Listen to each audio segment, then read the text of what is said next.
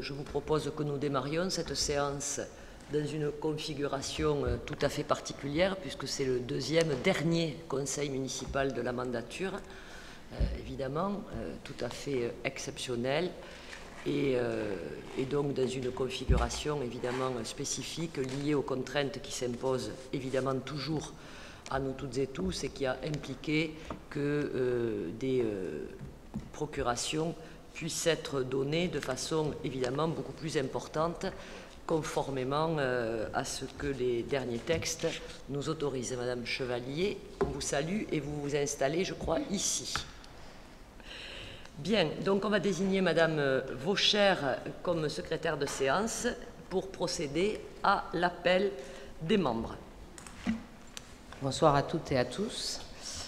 Alvinerie Michel. Pouvoir à Madame Traval-Michelet. Amar Isabelle. Alors, pouvoir à Monsieur Quartero. Asprogitis Martine. Je cherche pouvoir à Madame Moisin. Berry-Séven Martine. Présente. Bertrand Marie-Odile. Pouvoir à Madame Berry-Séven. Boubidi Sophie. Pouvoir à Madame Berry-Séven. Briançon Philippe. Casalis Laurence. Chanchorle Marie-Christine. Pouvoir à Monsieur Briançon. Chevalier Valérie. Présente. Clouscar Martinato Catherine. Corby Christophe. Pouvoir, pouvoir, pouvoir à Monsieur Arnaud Simion. Quartero Richard. Darnaud Gilles. Pouvoir à Monsieur Terrail. Flavigny Françoise. Pouvoir à Madame Clouscar. Fury Joselito. Pouvoir à Monsieur Laurier. Jimena Patrick. Kazmarek Eric. Pouvoir à Monsieur Gimena. Keshidi Med. Kitegi Gladys. Pouvoir à Madame Clouscar Martinato. Laborde Damien. Pouvoir à Monsieur Quartero. Laurent Guy. Guy Laurent. Pouvoir à moi-même, donc Madame Traval-Michelet. Laurier Laurent. Lemoine François. Excusez. Malem Elisabeth. Pouvoir à Madame Vaucher. Ménène Delio. Pouvoir à Madame Moisan. Moisan Thérèse. Mourgue Josiane. Josiane Mourgue. Pouvoir à Madame Casalis. Moussaoui Aïssam. Excusez. Refalou Alain. Refalo Alain. Pouvoir à Monsieur Keshidi. Saralier Claude. Pouvoir à Madame Casalis. Sibrac Chantal. Pouvoir à Monsieur Gimena. Simeon Arnaud. Présent. Terrail Marc. Traval Michelet Karine. Présente. Vatan Bruno. Pouvoir à Madame Chevalier. Vaucher Caroline présente. Vergnol Pierre. Pouvoir à Monsieur Briançon. Et enfin Zahir Loubna. Pouvoir à Monsieur Terrail. Bien, merci euh, beaucoup. Alors, j'ai reçu un courrier en date du 24 mai euh, m'informant de la création d'un nouveau groupe municipal constitué pour, et uniquement pour ce conseil municipal du mercredi donc 3 juin qui est reporté à aujourd'hui 9 juin, Colomiers vivante et solidaire, dont le président est M. Quartero qui m'a demandé euh, de pouvoir euh, s'exprimer quelques minutes. Je vous donne donc la parole. Je vous remercie, Madame la maire. Une, une minute suffiront, je pense. Nous, sommes plusieurs élus de l'opposition, issus d'horizons différents et rassemblés dans un groupe unique, Colomiers vivante et solidaire. Nous nous sommes retrouvés à la faveur d'une action de solidarité impulsée par notre collègue Laurent Laurier. Et cette action qui consiste à reverser nos indemnités perçues depuis le 15 mars à des associations de solidarité de la ville, nous a permis de nous rencontrer euh, virtuellement au départ, bien entendu, et de nous parler et de mieux euh, nous connaître. Euh, nous avons alors décidé de fonder un groupe municipal à l'existence éphémère pour la fin de cette mandature et dont la symbolique a vocation à rassembler les bonnes énergies pour construire la ville de demain. Parler du, rassemblement, c'est bien, et le faire concrètement, c'est ce que nous avons fait, nous pensons que c'est mieux. Euh, notre état d'esprit est positif et constructif, loin des querelles partisanes et stériles, et au-delà, bien entendu, des étiquettes politiques. Chacun apporte ses convictions profondes et nous voulons travailler ensemble. Colomiers a besoin d'élus et de citoyens qui se rassemblent pour défendre le bien commun et construire des projets d'avenir au service d'une ville vivante et solidaire. C'est tout le sens de notre démarche à travers ce nouveau groupe municipal. Je vous remercie. Merci beaucoup. Donc, euh, sans commentaire particulier, puisque ça n'en justifie pas, hein, euh, évidemment. Donc, euh, nous allons passer à l'ordre du jour avec l'approbation du procès-verbal de la précédente séance qui s'était donc tenue le 3 février 2020. Est-ce que vous avez des observations ou des commentaires, des propositions de modification sur ce procès-verbal? Je mets donc aux voix qui s'abstient, qui vote contre. Je vous remercie. Et je vais maintenant demander à Madame Vaucher de procéder à la lecture des délibérés. Alors, 18 délibérés ce soir. 1. Décision du maire. 2. Budget primitif 2020, budget principal. 3. Budget primitif 2020, budget annexe, restaurant administratif. 4. Fixation du taux d'imposition des trois taxes directes locales pour l'année 2020. 5. Plan pluriannuel d'investissement, autorisation de programmes et crédits de paiement APCP. 6. Subvention d'un voyage d'études d'élèves de 3e du Collège Léon Blum. 7. Ticket sport saison 2019-2020, attribution de subventions aux associations. 8. Réponse à l'appel à projet Plan national pour l'alimentation 2019-2023, inscription École du goût de Colomiers. 9. Rénovation de l'éclairage public avenue Jean Mermoz et avenue Énoir Cérès, référence 12 AS 168. 10. Rénovation de l'éclairage public, avenue Jean Monnet, tranche 3, référence 12 AS 169. 11. Compte rendu d'exécution des petits travaux inopinés de 2019 et petits travaux inopinés à prévoir pour 2020 relevant de la compétence du SDEG. 12. Rénovation de l'éclairage public du quartier Couderc-Chartreuse, référence 12 AS 170. 13. Vente à la copropriété oratoire de deux emprises de terrain situées boulevard Marcel Dassault et allée de Naurouse. 14. Allée du Couderc, convention de servitude Enedis. 15. Quartier du Poitou, projet de convention de servitude au profit d'Enedis. 16. Acquisition auprès d'Altéal des espaces verts des résidences Le Perger et Henri Martin. 17. Acquisition auprès d'Opidea et classement dans le domaine public de parcelles à usage public. Et enfin 18. DSCDA, convention de partenariat entre le Crédit Agricole et la ville de Colomiers dans le cadre du festival Wikipolis 2020. Merci euh, Madame. Donc on peut démarrer l'ordre du jour avec euh, un point d'information au terme duquel je souhaite euh, rendre compte de la gestion de la période de crise que nous venons de vivre, du bilan des achats dans le cadre de cette période de crise et à travers ces deux points, j'évoquerai bien sûr le plan de continuité d'activité et de reprise d'activité.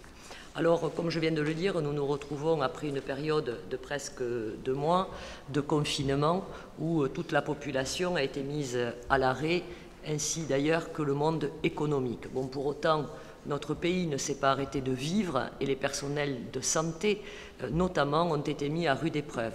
Les agents des services publics, toutes fonctions publiques confondues, ont été pour beaucoup en première ligne et je reviendrai euh, ensuite tout au long évidemment de mon propos sur la situation de nos agents municipaux.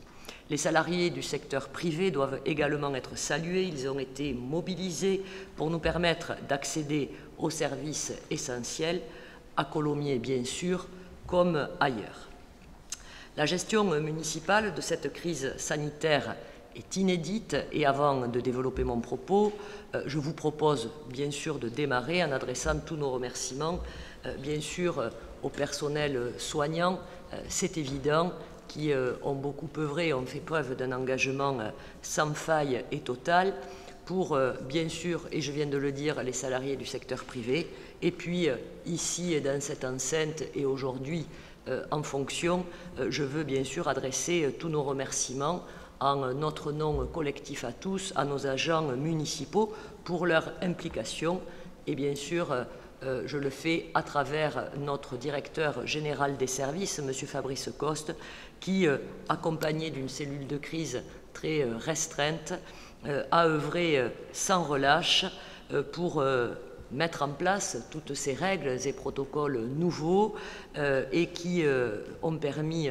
ensemble à celles et ceux qui étaient à ses côtés de répondre 7 jours sur 7 finalement aux situations, aux questions, aux réclamations, aux préoccupations de nos concitoyens.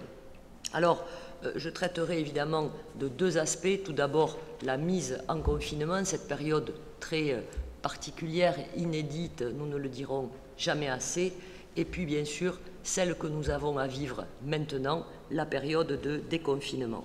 Alors, la mise en confinement de nos agents municipaux, euh, a été euh, brutale, comme celle de tout le pays, et euh, nous avons dû prendre très vite des dispositions tout à fait particulières pour cette mise en confinement. Je vous avais d'ailleurs adressé, je crois dès le 21 mars, un mail à l'ensemble des élus du conseil municipal pour vous indiquer que j'étais amené à mobiliser, voire même à réquisitionner un certain nombre de personnels dans l'ensemble des directions. Pour ne pas être trop longue, je ne vais pas toutes et tous les citer, mais cela a évidemment concerné euh, toutes les directions de la municipalité, avec parfois une acuité plus importante euh, pour certains, euh, mais cela a, dû être fait et nous a permis en effet de répondre aux préoccupations de cette période. Euh, vous le savez aussi, et nous pouvons euh, nous en féliciter grâce à un travail euh, mené de, longue date, depuis plusieurs mois, voire années, autour de notre contrat local de santé, mais aussi à travers la mise en place d'une CTPS à Colomiers. Nous avions anticipé cette phase difficile et finalement malheureuse pour euh, être en mesure d'ouvrir les premiers en France. Nous pouvons euh, nous en féliciter et cela a été évidemment remarqué, le premier centre d'accueil euh, Covid-19 qui a ouvert donc dans notre commune grâce à l'implication, à l'initiative de nos médecins locaux, bien sûr, le docteur Maté et le docteur Venouille, et nous avons nous-mêmes apporté toute la logistique de la municipalité pour le permettre. Concernant les actions engagées par la municipalité, euh, ces actions, elles ont eu euh, des euh, répercussions à la fois en externe, elles ont été tournées vers l'externe comme vers l'interne. Des actions de solidarité en direction des associations columérines concernant des mesures d'accompagnement exceptionnelles et nous avons été amenés à formaliser plusieurs conventions avec d'abord le secours populaire très très rapidement pour céder à cette association les produits périssables de notre centre de restauration municipale qui avaient été commandés avant la mise en confinement, avant les mesures de fermeture. Et donc, euh, euh, nous avons pu les réacheminer vers le secours populaire. Nous continuerons euh, bien sûr d'accompagner cette association puisque nous voterons tout à l'heure une subvention qui vous sera présentée et euh, dans cette période, euh, mes adjoints, M. Arnaud Simion et, et Mme Moisan, euh, ont pu être en lien direct avec le responsable de cette association. une convention particulière également avec l'IMCA de Colomiers pour fournir des repas aux résidents du foyer d'hébergement. Avec la résidence senior également la Pradine, là aussi pour fournir à ces résidents qui ne peuvent pas sortir des repas pendant la période de confinement, enfin avec la Croix-Rouge pour assurer un service de portage de courses à domicile et de médicaments euh, sur ordonnance. Des actions de solidarité, bien sûr, euh, de la municipalité envers et en direction des columérines et des columérins. Vous le savez, les familles qui bénéficient habituellement de la gratuité ou de la semi-gratuité à la cantine ont été accompagnées par la municipalité, en complément d'ailleurs, il faut le souligner, des aides accordées par le Conseil départemental pour les collégiens. Et nous-mêmes, nous avons attribué des bons d'achat alimentaires pour euh, ces familles dont les enfants bénéficiaient habituellement de la gratuité ou de la semi-gratuité des bons d'achat entre 45 et 90 euros euh, par mois pour toute la durée du confinement. De la même façon, nous avons souhaité accompagner aussi les euh, familles qui sont habituellement suivies par nos services sociaux et une aide complémentaire de 50 ou 100 euros a été attribuée en fonction des situations familiale, euh, là aussi avec des familles qui sont habituellement suivies ou d'autres qui se sont manifestées. Au total, ce seront près de 200 000 euros qui auront été mobilisés sur cette action. Notre centre de restauration municipale, vous l'avez compris, est resté actif, même si évidemment la production de repas a été euh, diminuée, mais quand même environ 400 à 500 repas étaient produits chaque jour. Et euh, là aussi, nous avons fait une action euh, euh, qui, a été très appréciée finalement, même si elle paraît anecdotique, euh, puisque nous avions fait toutes les commandes, passé toutes les commandes pour la production des chocolats de Pâques, et donc ils ont été distribués à l'ensemble des résidences seniors de la commune, à nos agents municipaux qui travaillaient, aux différentes cliniques également qui sont sur la commune, au centre de consultation Covid-19 bien sûr, mais également puisque les quantités étaient encore euh, suffisantes, au euh, CHU de, Purpan, dont euh, d'ailleurs le responsable nous a adressé ses vifs remerciements. Dans cette période, j'ai souhaité également saisir le bailleur social Altéal afin que toutes les mesures d'identification et d'accompagnement des personnes en difficulté soient mises en œuvre. Des solutions d'échelonnement de la dette ou de mobilisation de dispositifs de soutien existants comme le FSL, Action Logement, les fonds de soutien spécifiques ont été activés. Depuis le 1er avril, ce sont 1133 locataires qui ont été contactés, 37 nouveaux plans d'appurement qui ont pu être mis en place pour les locataires en difficulté, euh, dont les paiements ont été euh, échelonnés ou reportés. S'agissant des publics les plus fragiles, qui sont aussi euh, les locataires de ce bailleur social, notamment les personnes dites vulnérables en raison de leur âge ou de leur isolement, le bailleur social a créé une cellule spécifique composée de travailleurs sociaux expérimentés dont le rôle a été et reste encore d'ailleurs de joindre individuellement les locataires pour continuer à créer ce lien, ce que euh, notre CCAS euh, faisait également pour euh, ce qui concerne les personnes qui sont identifiées sur nos fichiers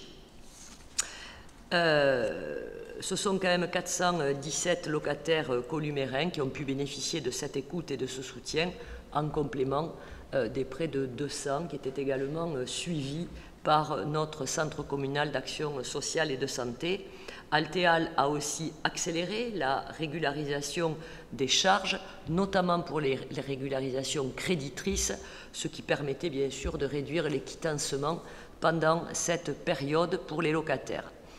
Enfin, euh, mais aussi euh, alors que les enfants étaient euh, confinés à la maison, en télétravail, nos services de la scolarité se sont mobilisés.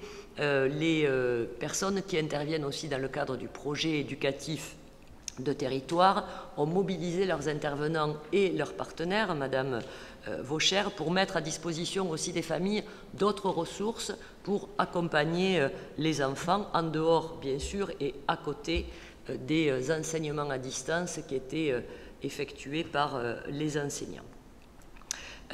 ces ressources ont pu être des ressources d'écoute, d'expression culturelle, sportive, par niveau scolaire et même jusqu'au collège, puisque nos services du, du classe, Madame Moisan, se sont également mobilisés dans ce sens. un point important, et vous le savez, nous avions ouvert un numéro vert euh, une, presque une cellule, je dirais, euh, d'écoute, puisque euh, rendez-vous compte que du 27 mars au 29 mai, ce sont près de 9000 appels qui ont été enregistrés parfois près de ou jusqu'à 200 à 250 appels par jour. Enfin, en lien avec le président de Toulouse Métropole, Jean-Luc Moudenc, et les maires concernés des autres villes de la métropole, j'avais demandé que les populations fragiles des quartiers prioritaires de la politique de la ville bénéficient de dispositifs spécifiques avec l'accompagnement des partenaires institutionnels du contrat de ville. Euh, ma demande a été entendue et euh, les quatre maires concernés euh, des villes qui sont inscrites dans ce contrat de ville avec la métropole, nous lançons un appel à projet associatif spécifique pour intervenir dans ces quartiers durant la période estivale et nos maisons citoyennes restent évidemment mobilisées dans toute la ville puisque là aussi le lien n'a jamais été euh, coupé complètement.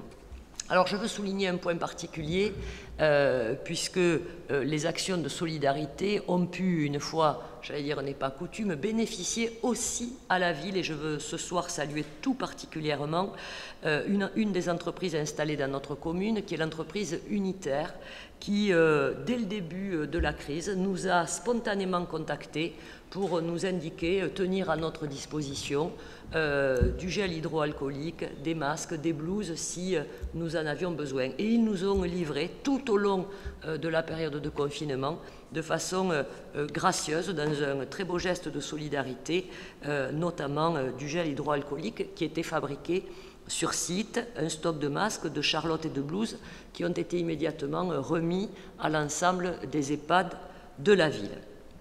Je reviens d'un mot, mais très rapidement, puisqu'on va dire que maintenant, en tout cas nous l'espérons, ce sera derrière nous, mais avec euh, mon collègue Marc Terrail, nous avons euh, évidemment euh, travaillé, je dirais, transpiré même sur cette question de l'organisation des marchés de plein vent, puisque très rapidement les marchés ont fait l'objet d'une interdiction par la préfecture et puis est venu le temps des dérogations.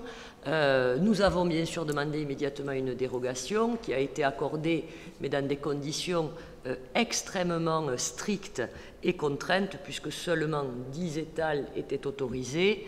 Euh, et puis petit à petit, à la faveur du déconfinement, nous pouvons retrouver une situation quasi normale du marché de plein vent. Tant mieux, puisque là aussi, il s'agit euh, d'accompagner, bien entendu, les euh, exposants et les commerçants de ce marché de plein vent. Et vous verrez donc que depuis euh, samedi, y compris la place du Languedoc, revient à une situation normale. Et nous avons donc travaillé par séquence en suivant strictement les préconisations qui nous sont données. En matière euh, de euh, tranquillité publique et de sécurité aussi. Nous avons été euh, particulièrement vigilants. Notre service de la police municipale et les services de la police nationale ont travaillé ensemble dans une collaboration que je veux saluer sur l'ensemble du territoire pour faire d'abord respecter les mesures de confinement, les gestes barrières, les sorties, les contrôles, les regroupements. Et euh, j'ai pu assister aux côtés euh, de mes collègues de la circonscription euh, police de Toulouse, en présence donc de Monsieur le Préfet et du directeur départemental de la sécurité publique à plusieurs réunions en préfecture pour faire le point au fur et à mesure, bien sûr, de l'avancée de cette période. Donc plusieurs réunions se sont tenues. Pour ma part, euh, et comme vous le savez, puisque je vous en ai fait part, j'avais euh, euh, refusé l'instauration d'un couvre-feu à Colomiers, puisque rien ne le justifiait, rien ne l'aurait exigé, selon d'ailleurs les éléments qui nous ont été donnés. Alors, dans cette période, évidemment, la situation au regard des faits délictueux est restée euh, sous un contrôle extrêmement attentif et les statistiques, évidemment, euh, confirment une baisse générale de la délinquance, comme ça a été le cas euh, partout, dans toutes les, dans toutes les communes, de l'ordre de plus de 50%. Bien entendu, dans cette période, nous avons été très vigilants concernant les violences intrafamiliales et nous avons pu constater une augmentation des faits sur cette période.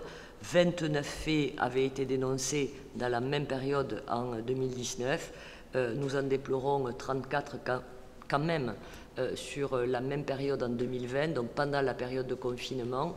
et nous espérons bien sûr que euh, toutes les personnes qui se sont senties en difficulté, en danger, ont pu trouver auprès des différents partenaires. Je veux remercier euh, les euh, pharmacies, notamment de notre commune, qui ont accepté cette démarche-là et qui ont été proactifs pour travailler avec nous dans ce domaine. Vous avez vu que nous avons régulièrement lancé des campagnes d'affichage Stop aux violences intrafamiliales.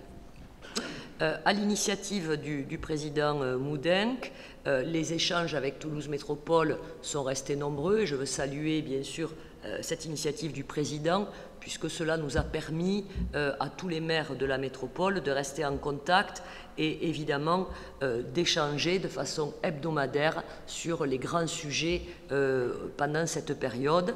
Alors, un des éléments euh, important a été notre décision commune de commande de masques, vous le savez, puisque euh, nous l'avons euh, travaillé ensemble, mais d'autres sujets ont été abordés régulièrement.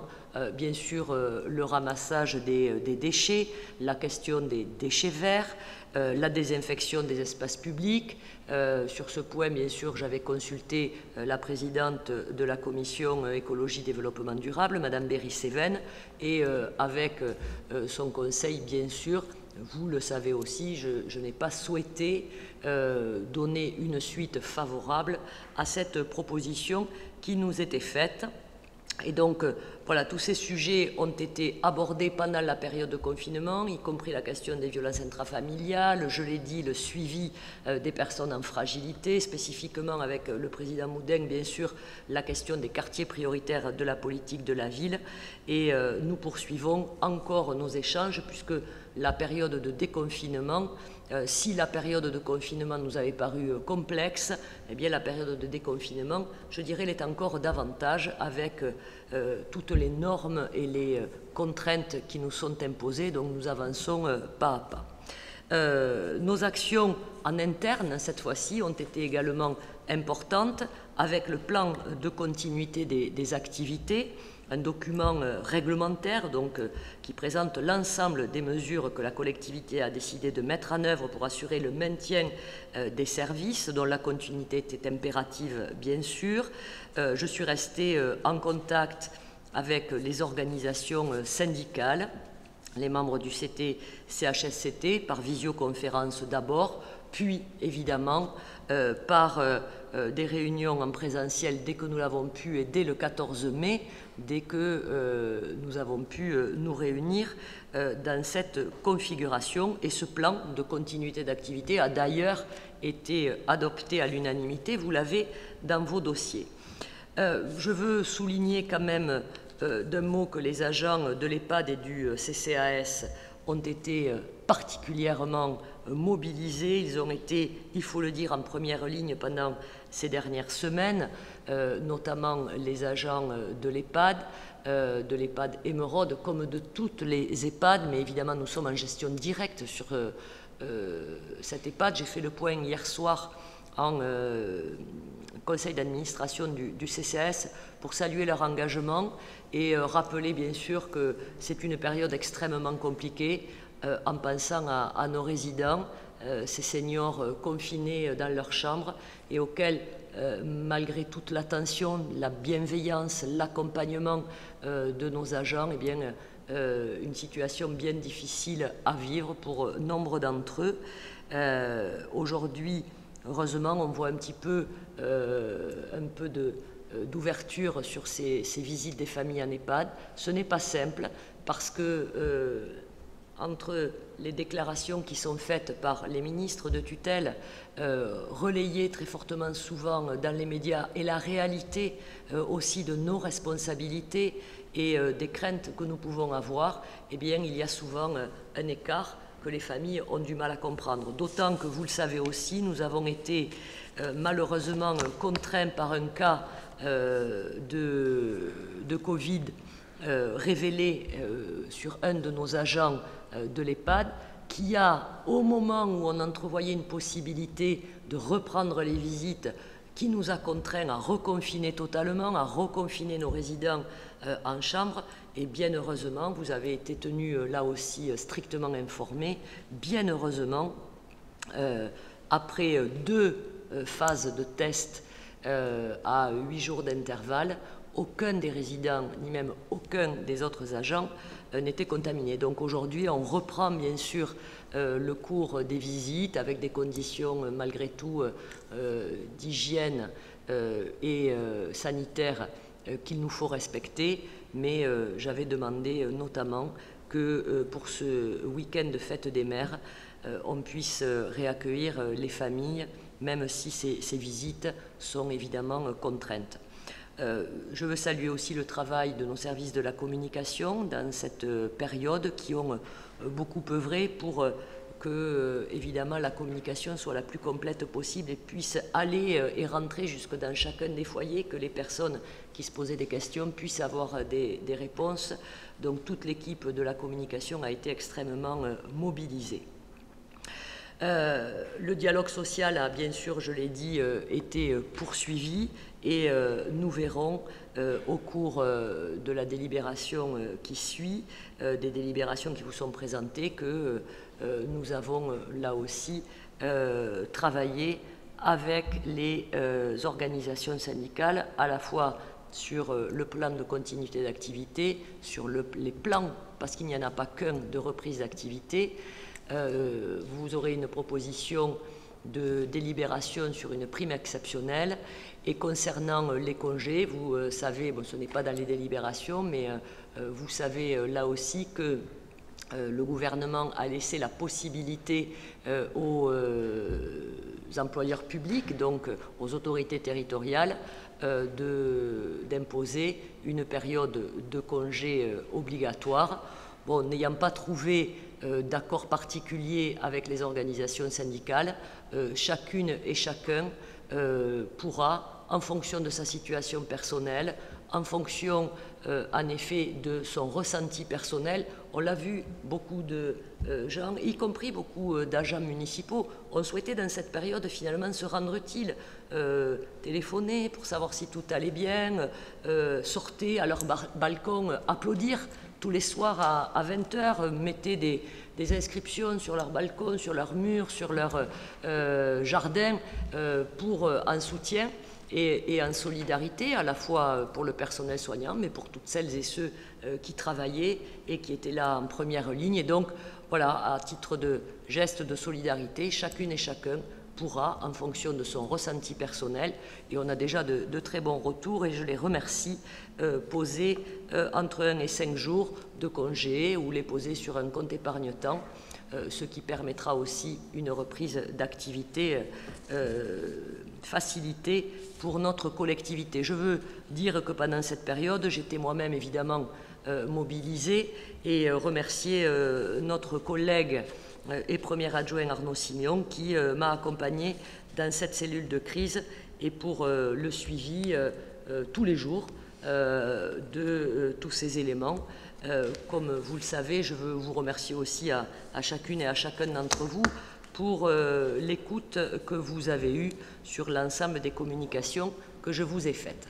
Alors depuis le 11 mai, nous sommes en période de déconfinement et là aussi nous devons agir et euh, nous devons porter euh, de nombreuses actions dans cette période-là. Alors notre préoccupation, elle est d'abord sociale, bien entendu, puisque avec le déconfinement, les problématiques sociales ne s'arrêtent pas, et euh, nous continuerons bien sûr notre accompagnement social auprès des personnes et des familles les plus en difficulté. Le CCAS est bien entendu toujours en veille et en action. Nos maisons citoyennes vont pouvoir reconstituer un relais de proximité extrêmement important.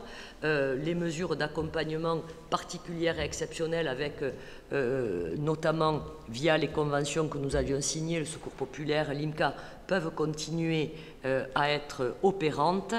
Euh, et je vous l'ai dit tout à l'heure, en lien avec Toulouse Métropole et l'appel à projet dédié, euh, nous travaillons déjà, j'y reviendrai, sur la mise en place euh, d'animation auprès de nos habitants, de l'ensemble de nos habitants, mais peut-être plus particulièrement pour les quartiers prioritaires de la politique de la ville. Notre préoccupation, elle est évidemment sanitaire, donc ça a été très fortement marqué par notre action et je remercie l'ensemble des élus qui ont été présents pour la distribution euh, des masques, euh, puisque nous avions commandé 40 000 masques avec deux week-ends de contribution où tous ceux qui l'ont pu, tous les élus qui ont pu se libérer ont été présents, et, je vous en remercie, et où nous avons pu aussi mobiliser tous les citoyens qui s'étaient inscrits à l'action Colomiers solidaire et qui était, euh, je crois, heureux de venir euh,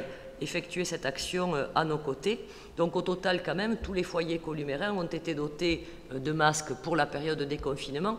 Et c'est une action qui va se poursuivre puisque le conseil départemental et la région, dans une action commune de la région et du département, nous ont livré 40 000 masques complémentaires. Et donc au final, après ce week-end, puisque vous avez été de nouveau sollicité euh, après ce week-end, eh bien, tous les foyers columérins se seront vus dotés d'au moins 4 masques euh, par foyer. Voilà donc le centre.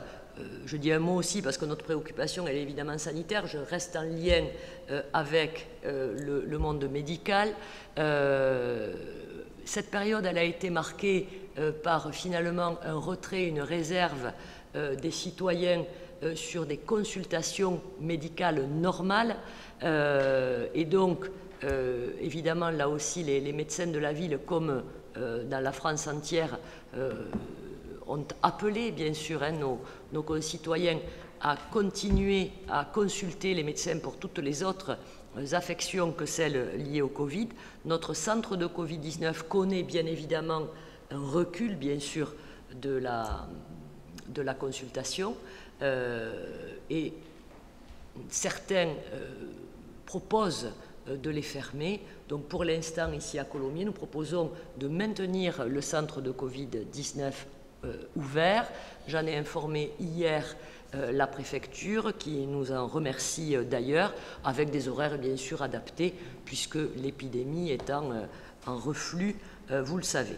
Alors notre préoccupation, elle est aussi, et vous le savez, particulièrement en ce moment économique. Euh, pendant la période de confinement déjà, je m'étais adressé, et vous en avez une copie, au nom de la municipalité à toutes les entreprises, aux commerces locaux, au monde économique, artisanal et commercial euh, de notre commune, à travers les différentes associations de commerçants ou du club d'entreprise, euh, pour indiquer que, évidemment, nous étions à leur écoute et que nous pourrions engager des mesures exceptionnel, nous le verrons après.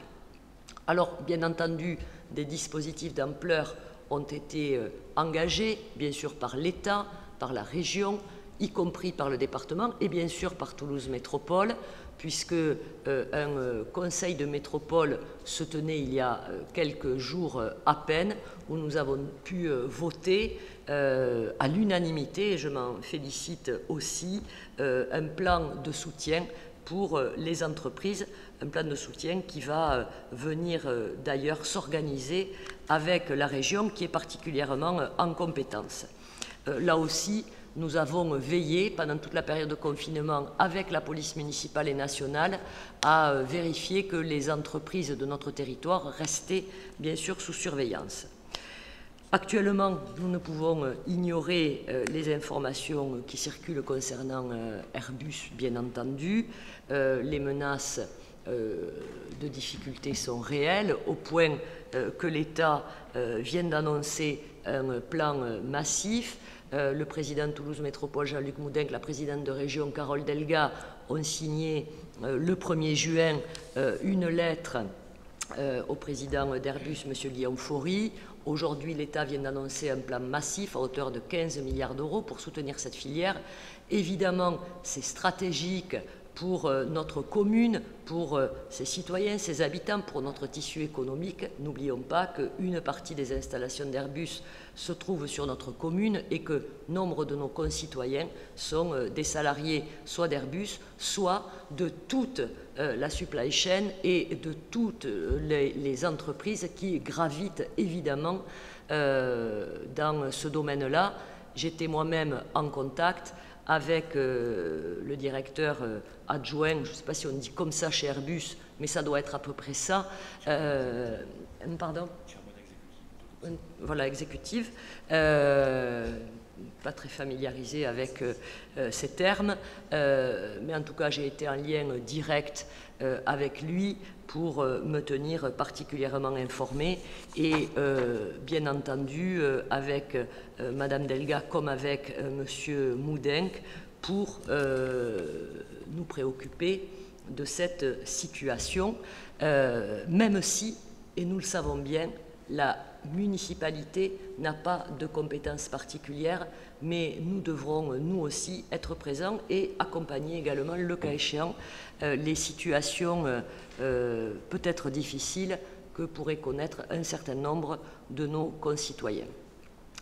Dans cette préoccupation euh, de relance économique, euh, toujours en lien avec Toulouse Métropole et Jean-Luc Moudenc, j'ai demandé à ce qu'un certain nombre de travaux soient relancés, voire même certains soient anticipés.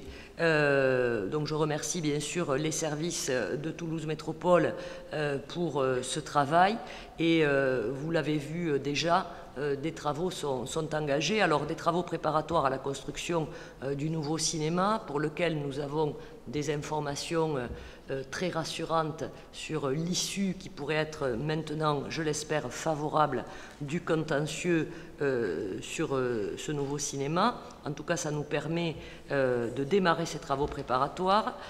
nous avons également démarré, vous l'avez vu, le réaménagement du parc des Maraux pour commencer la construction de l'école Simone Veil.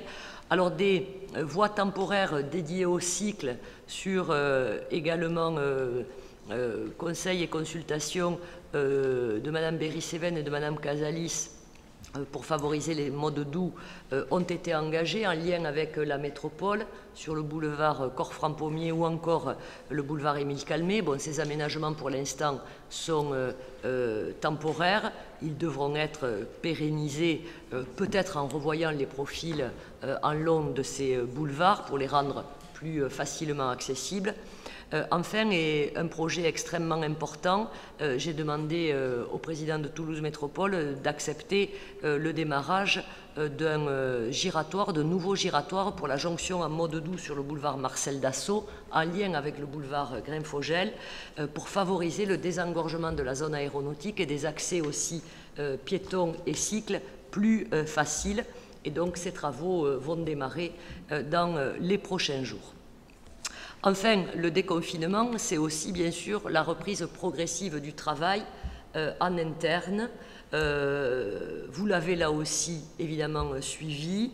Euh, ce déconfinement, il a démarré par la reprise progressive de nos groupes scolaires, un énorme travail qui a dû être engagé à la fois par nos services, en lien bien sûr avec les services de l'éducation nationale, je ne reviens pas sur toutes les étapes, je ne veux pas être trop longue, mais sachez que la municipalité a mobilisé très fortement euh, ces euh, animateurs à l'AE que je remercie pour être présents sur euh, toutes les, journées entières pour accompagner cette reprise. pour tous les autres services municipaux, c'est un plan de reprise qui se fait de façon progressive avec l'idée et le souci de respecter le cadre sanitaire et la protection de nos agents.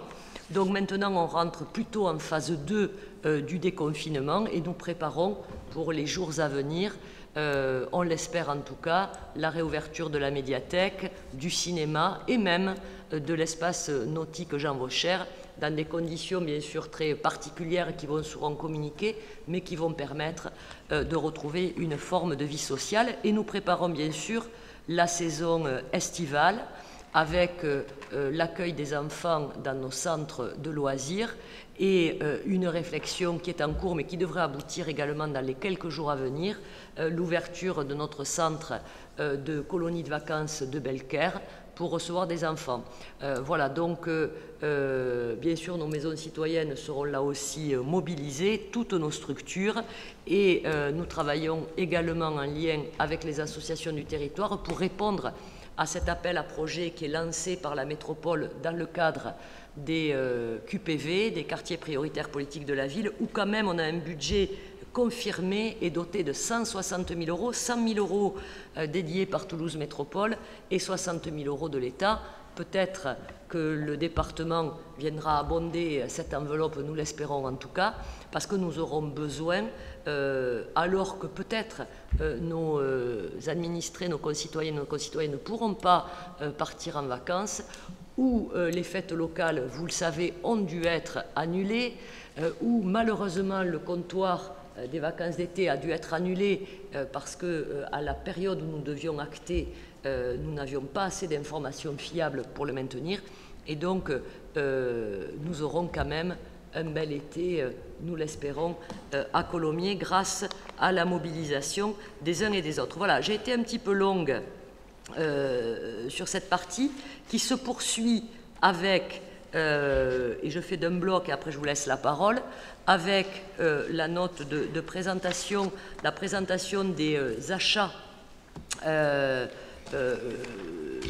qu'on appellera spécial Covid. Donc je crois qu'un tableau vous a été distribué, donc environ 220 000 euros d'achats spécifiques dans cette période-là.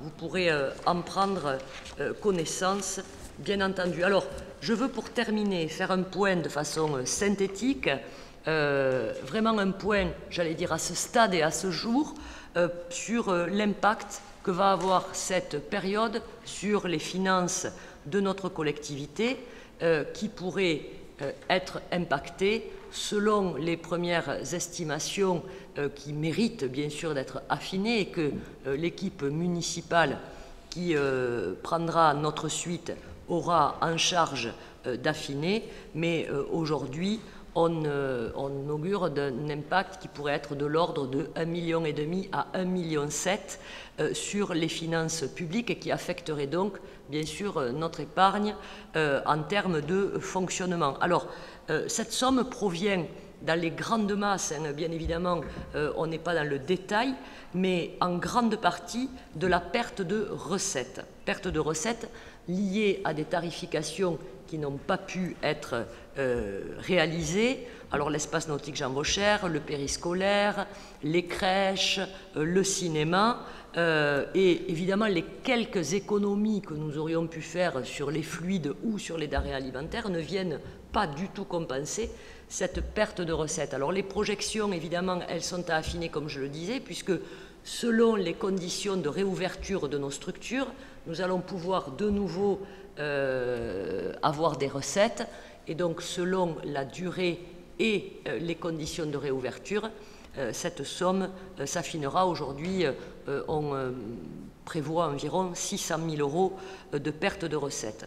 je vous proposerai également des délibérations concernant des mesures exceptionnelles sur la TLPE et les droits de terrasse qui pourrait à elle 2 euh, avoir un impact de l'ordre de 100 000 euros sur les finances publiques, et puis des dépenses exceptionnelles sur cet exercice, je l'ai dit dans mon euh, propos, 200 euh, 000 euros environ pour l'échec alimentaire et d'hygiène, une prime exceptionnelle qui vous sera proposée pour les agents de la municipalité qui pourrait être valorisée de l'ordre de 160 000 euros, euh, une prolongation de notre contrat euh, avec le prestataire euh, qui met en place le numérique dans toutes nos écoles, puisqu'on n'a pas pu changer de, modalité, environ 100 000 euros. Des dépenses liées au centre Covid, puisqu'on a apporté toute la logistique, environ 100 000 euros. Près de 200 000 euros, on vient de le voir, pour les achats divers. Et puis, alors là, c'est euh, aujourd'hui difficile à valoriser, peut-être un impact sur les droits de mutation cela reste à confirmer, puisque, vous le savez, on a quand même un niveau assez haut euh, on le verra tout à l'heure sur le compte administratif concernant les droits de mutation. Est-ce que euh, l'activité de cession immobilière sera impactée? Nous ne le savons pas encore. Ce, n'est pas sûr d'ailleurs. Euh, à ce stade, on peut difficilement le dire, mais on pourrait avoir un effet retard en revanche donc euh, euh, tout ça restera à euh, retravailler. Alors si on part d'une moyenne de notre épargne nette de, gestion, par exemple cette année on le verra tout à l'heure, 4 millions, quasiment 4 millions et demi en dehors des, éléments exceptionnels et qu'on a une, une, perte de 1,7 million, bon, on restera quand même sur une épargne encore euh, correcte, alors que beaucoup euh, de collectivités, les échanges que je peux avoir ou qui nous reviennent de l'Association des maires montrent que beaucoup de collectivités pourraient se trouver en très grande difficulté euh, sans épargne ou avec même des épargnes négatives, ce qui en principe n'est pas possible. Mais là, évidemment, l'association des maires, l'État devrait intervenir. Sur ce point, et même si l'État envisageait euh, un plan de soutien aux collectivités nous concerne peu finalement. Euh, les charges assumées par les collectivités durant cette crise donc, seront identifiées sur une section comptable spécifique, une section Covid-19, ce qui nous permettra de revenir vers l'État et de demander bien sûr euh, un appui. mais le plan de soutien annoncé par le gouvernement pour l'instant ne parle que de l'étalement des dépenses également euh, sur les questions fiscales.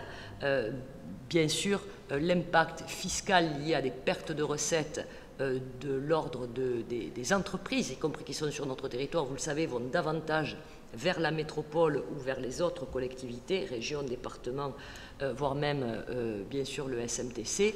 Et donc, là aussi, nous sommes pour l'instant que faiblement impactés. Euh, puisque euh, nous avons une fiscalité euh, qui n'est que peu dépendante de l'activité économique. Si néanmoins, selon les informations que nous avons aujourd'hui, la ville venait à constater une perte de recettes fiscales, il semblerait que l'État ait indiqué qu'il pourrait la compenser. Voilà, donc les, impacts, évidemment, euh, qui resteront à vérifier et bien sûr à, suivre avec beaucoup d'attention sont ceux qui concerneront euh, la métropole. En tout cas, euh, voilà, la, gestion saine de la ville et, financière, très saine de notre ville, comme va l'attester encore une fois le compte administratif qui vous sera présenté, nous permet quand même de traverser cette situation avec une certaine sérénité, un sérieux et être bien sûr dans l'accompagnement que nécessite cette période. Voilà, euh, mes chers collègues, je sais que j'ai été extrêmement longue, mais évidemment, il me semblait euh, difficile euh, de ne pas rappeler aux columérines et aux columérins qui nous regardent ce que, ensemble, nous avons fait, tous ensemble, la municipalité, bien sûr, pour passer cette période. Et je vous remercie pour celles et ceux qui euh, à travers les, différents mails, les nombreux mails que je vous ai envoyés pendant la période, euh, m'ont répondu, euh, ont pu poser des questions auxquelles j'ai bien sûr répondu et ont fait preuve de bienveillance et d'accompagnement. Voilà, donc vous avez les, éléments, bien sûr, protocole, euh, reprise d'activité, euh, plan d'organisation des services et protocole sanitaire à l'attention des, agents municipaux, en vous signalant que tous ces documents ont fait l'objet d'un avis favorable à l'unanimité lors euh, du CTCHSCT exceptionnel qui a été organisé la semaine dernière. Voilà, j'en ai terminé et je vous laisse bien sûr vous exprimer sur ces points.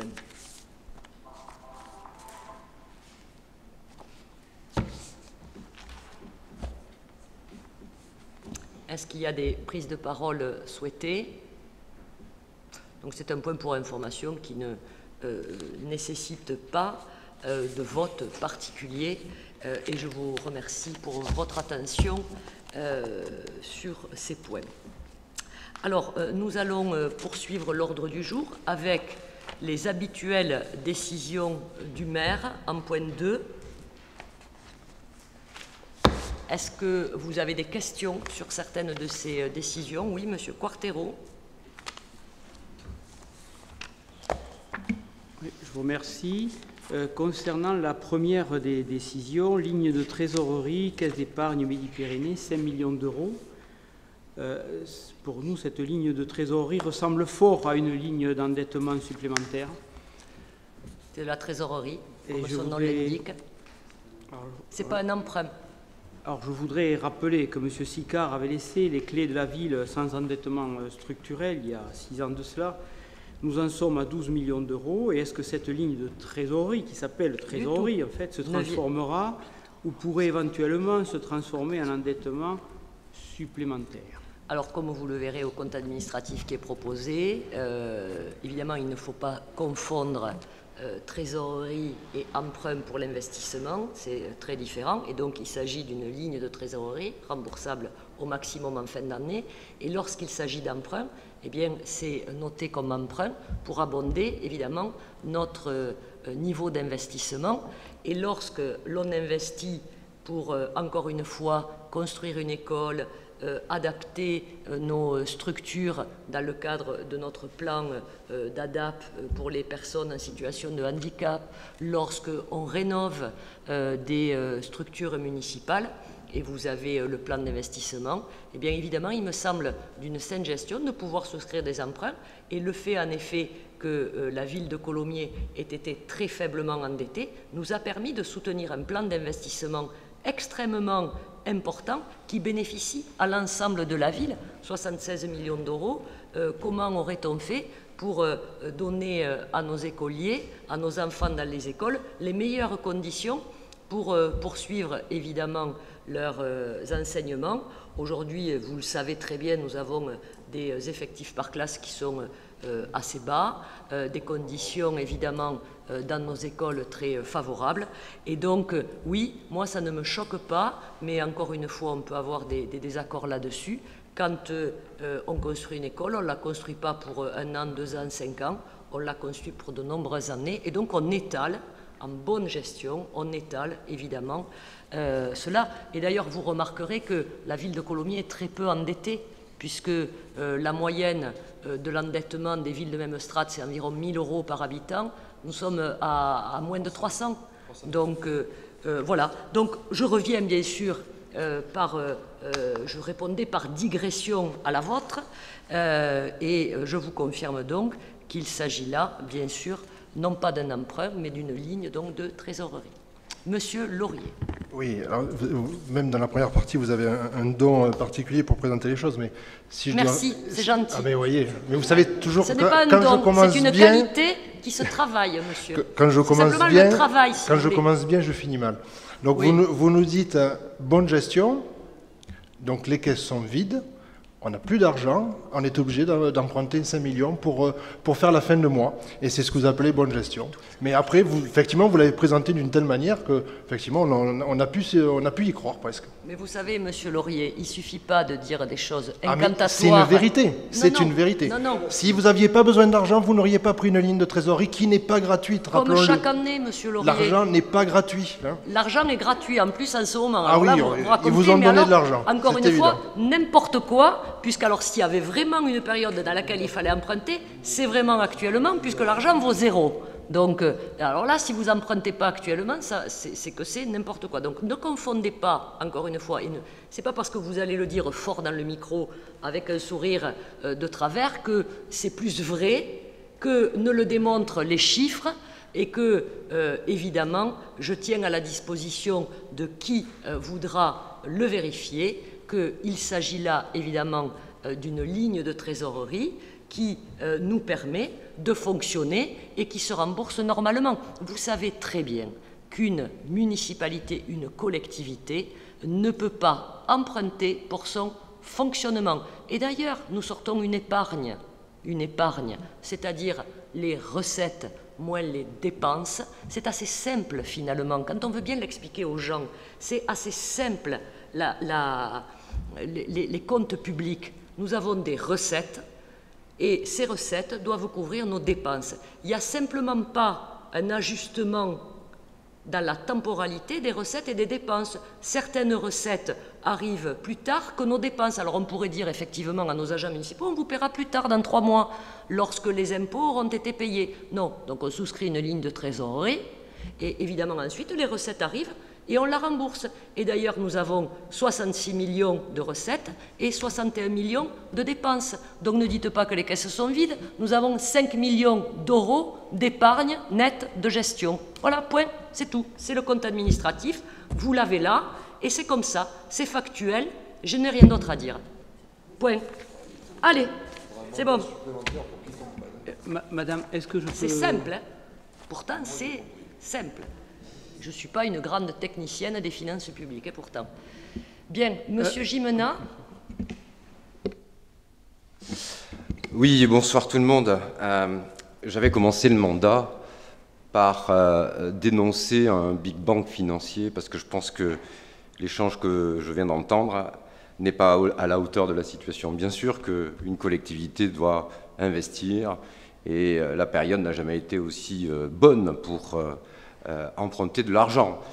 Euh, et puis euh, une collectivité ou une entreprise qui aujourd'hui ne favorise pas des investissements serait une entreprise ou une collectivité qui passerait à côté de beaucoup de choses, en tout cas en termes de qualité de service à la population. non, je reviens quand même sur quelque chose qui a été un peu un leitmotiv pendant mon mandat, c'est la question de la baisse des dotations générales de fonctionnement. On n'en parle pas suffisamment. Euh, on est passé donc des 5 milliards de Sarkozy, 11 milliards de Hollande, et puis maintenant on est dans une contractualisation. Et pour autant, cette crise financière révèle bah, énormément, effectivement, de, euh, dépenses, euh, j'ai envie de dire obligatoires, qui auraient été impossibles, ne serait-ce qu'il y a 3-4 mois. C'est-à-dire qu'on a ouvert les vannes. Donc j'ose espérer que pour l'ensemble des collectivités, et plus particulièrement pour notre collectivité, que l'État prendra ses responsabilités pour compenser effectivement un certain nombre de dépenses, d'une part, mais en même temps pour prévoir la casse sociale qui va avoir lieu dans les semaines et les mois qui vont arriver. On est au bord d'un tsunami social et économique. Donc euh, je trouve très puéril euh, ce que je viens d'entendre, parce que je crois que l'enjeu aujourd'hui, il n'est pas à ce niveau-là. D'autres interventions, Monsieur Quartero Oui, juste en deux mots. Euh, ce qui nous inquiète, en fait, c'est la trajectoire qui est prise. Hein. Euh, nous étions à 10 millions euh, d'épargne il y a encore quelques années, puis 7, 6. On en est à 3 et quelques ou 4 aujourd'hui. et puis nous étions à un endettement de 800 000 euros hein, en 2014. On en est à 12 ou 17 millions, on verra plus tard. Mais, et ce qui m'inquiète aussi, c'est la facilité avec, à laquelle vous tentez de vous extirper de cette euh, situation qui, pour nous, est relativement grave. Bien. Alors, euh, vous, reviendrez sur vos observations au moment du compte administratif, si vous le voulez bien, parce que euh, d'une décision de trésorerie à laquelle je vous réponds à laquelle je vous réponds. On n'est pas là, on ne fait pas la campagne électorale là aujourd'hui. Hein. Soyons très clairs quand même entre nous, hein. ne nous cachons pas les choses, hein, s'il vous plaît. Donc ne faisons pas, euh, euh, si vous voulez, le débat, on le fera et on le fera ailleurs, d'accord? Voilà. Donc je vous ai répondu sur la trésorerie pour vous dire, vous me demandez de quoi il s'agit. Je vous réponds qu'il ne s'agit pas d'une ligne d'emprunt et je vous explique comment les choses fonctionnent. Voilà. Donc ensuite, chacun euh, a son opinion. Ça, c'est autre chose. Vous nous expliquerez en effet certainement euh, comment euh, vous auriez fait ou comment vous ferez, mais vous nous l'expliquerez ailleurs. Voilà. D'autres questions sur ces décisions? Alors, je les mets aux voix. Qui s'abstient? On prend acte. Merci, euh, Monsieur Laurier. Vigilance toujours de Monsieur Laurier. Ah, mais Monsieur Laurier, mais il n'y a aucun problème, bien sûr. Ah, mais très très bien. Bien. Alors, euh, le troisième point concerne une délibération un peu technique euh, que je vais essayer d'expliquer simplement. Vous l'avez lu. je bénéficie au terme de délibérations qui ont été votées en 2014 et 2015, de délégations de pouvoir sur un certain nombre de sujets conformément au Code général des collectivités territoriales. Délégations qui m'ont été données par le Conseil municipal. Au moment de la crise sanitaire et dans le cadre de l'état d'urgence, euh, les ordonnances qui ont été prises pour permettre aux maires et aux collectivités, à l'exécutif finalement, de faire fonctionner dans une période en plus particulière, puisque euh, une période de, euh, où les conseils municipaux se renouvelaient partout en France, euh, cette ordonnance a ouvert le champ des dérogations qui peuvent être accordées aux maires pour faire fonctionner la commune.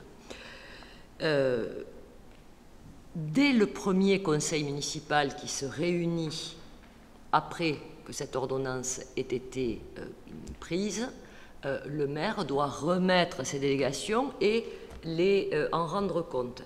Donc, euh, ce qu'il faut comprendre de ce texte, c'est que je n'ai pas utilisé de dérogation spécifique qui était permise par ces ordonnances. Elles n'ont pas été mobilisées.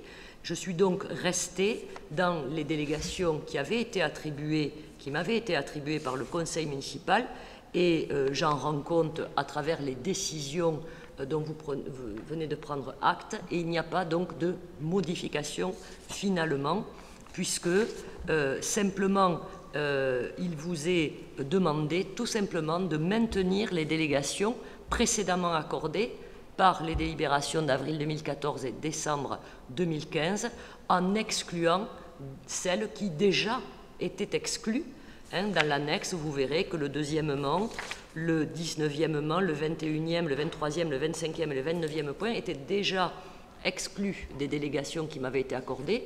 Et donc, euh, on reprend finalement les mêmes choses. Et euh, cela permet de fonctionner, bon, maintenant, euh, bien heureusement, uniquement jusqu'au 28 juin. et euh, avec euh, bien entendu euh, une obligation de reddition de compte qui me paraît tout à fait normale et légitime. Voilà, c'est assez simple même si ça paraît complexe. Est-ce que vous avez des questions là-dessus? Pas de questions? Donc ça, je le mets aux voix. Qui s'abstient Oui. Il n'y a pas de numéro 2.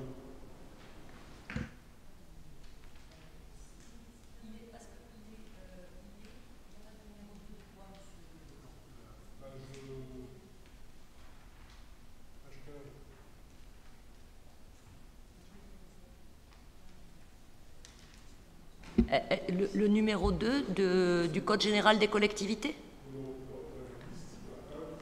Oui, parce que le 2 est exclu.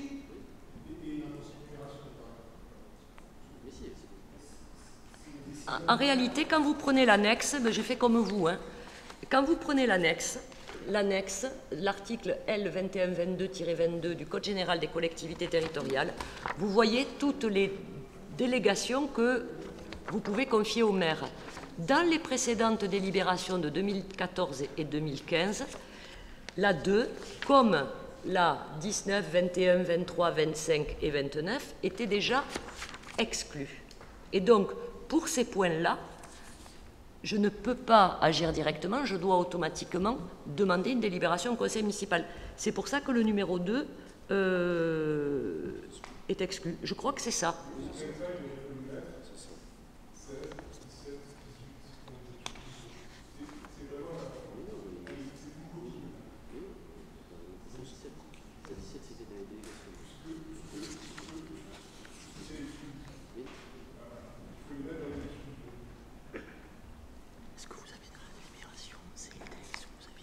Mais bien sûr, 1, 3, 1, 3, 4, 5, machin. Et ensuite, évidemment, vous n'avez pas la 19, la 21, la 25. «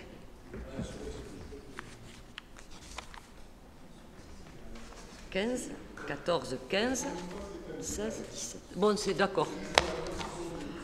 Bon, moi, je n'ai pas trouvé de, point particulier. Vous verrez euh, le directeur général des services. Je pense que c'est correct. Mais euh, moi aussi, comme vous, j'ai essayé de pointer et de comprendre. Ça m'a paru correct.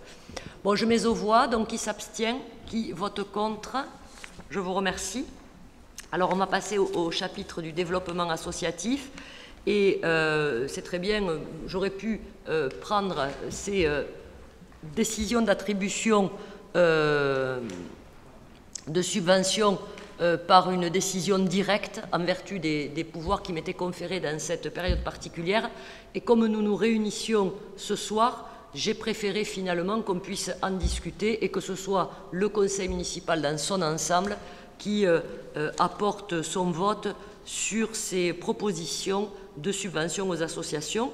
Donc on va les regarder comme on le fait habituellement, juste pour vous dire que, évidemment, les euh, commissions municipales correspondantes n'ont pas pu se réunir.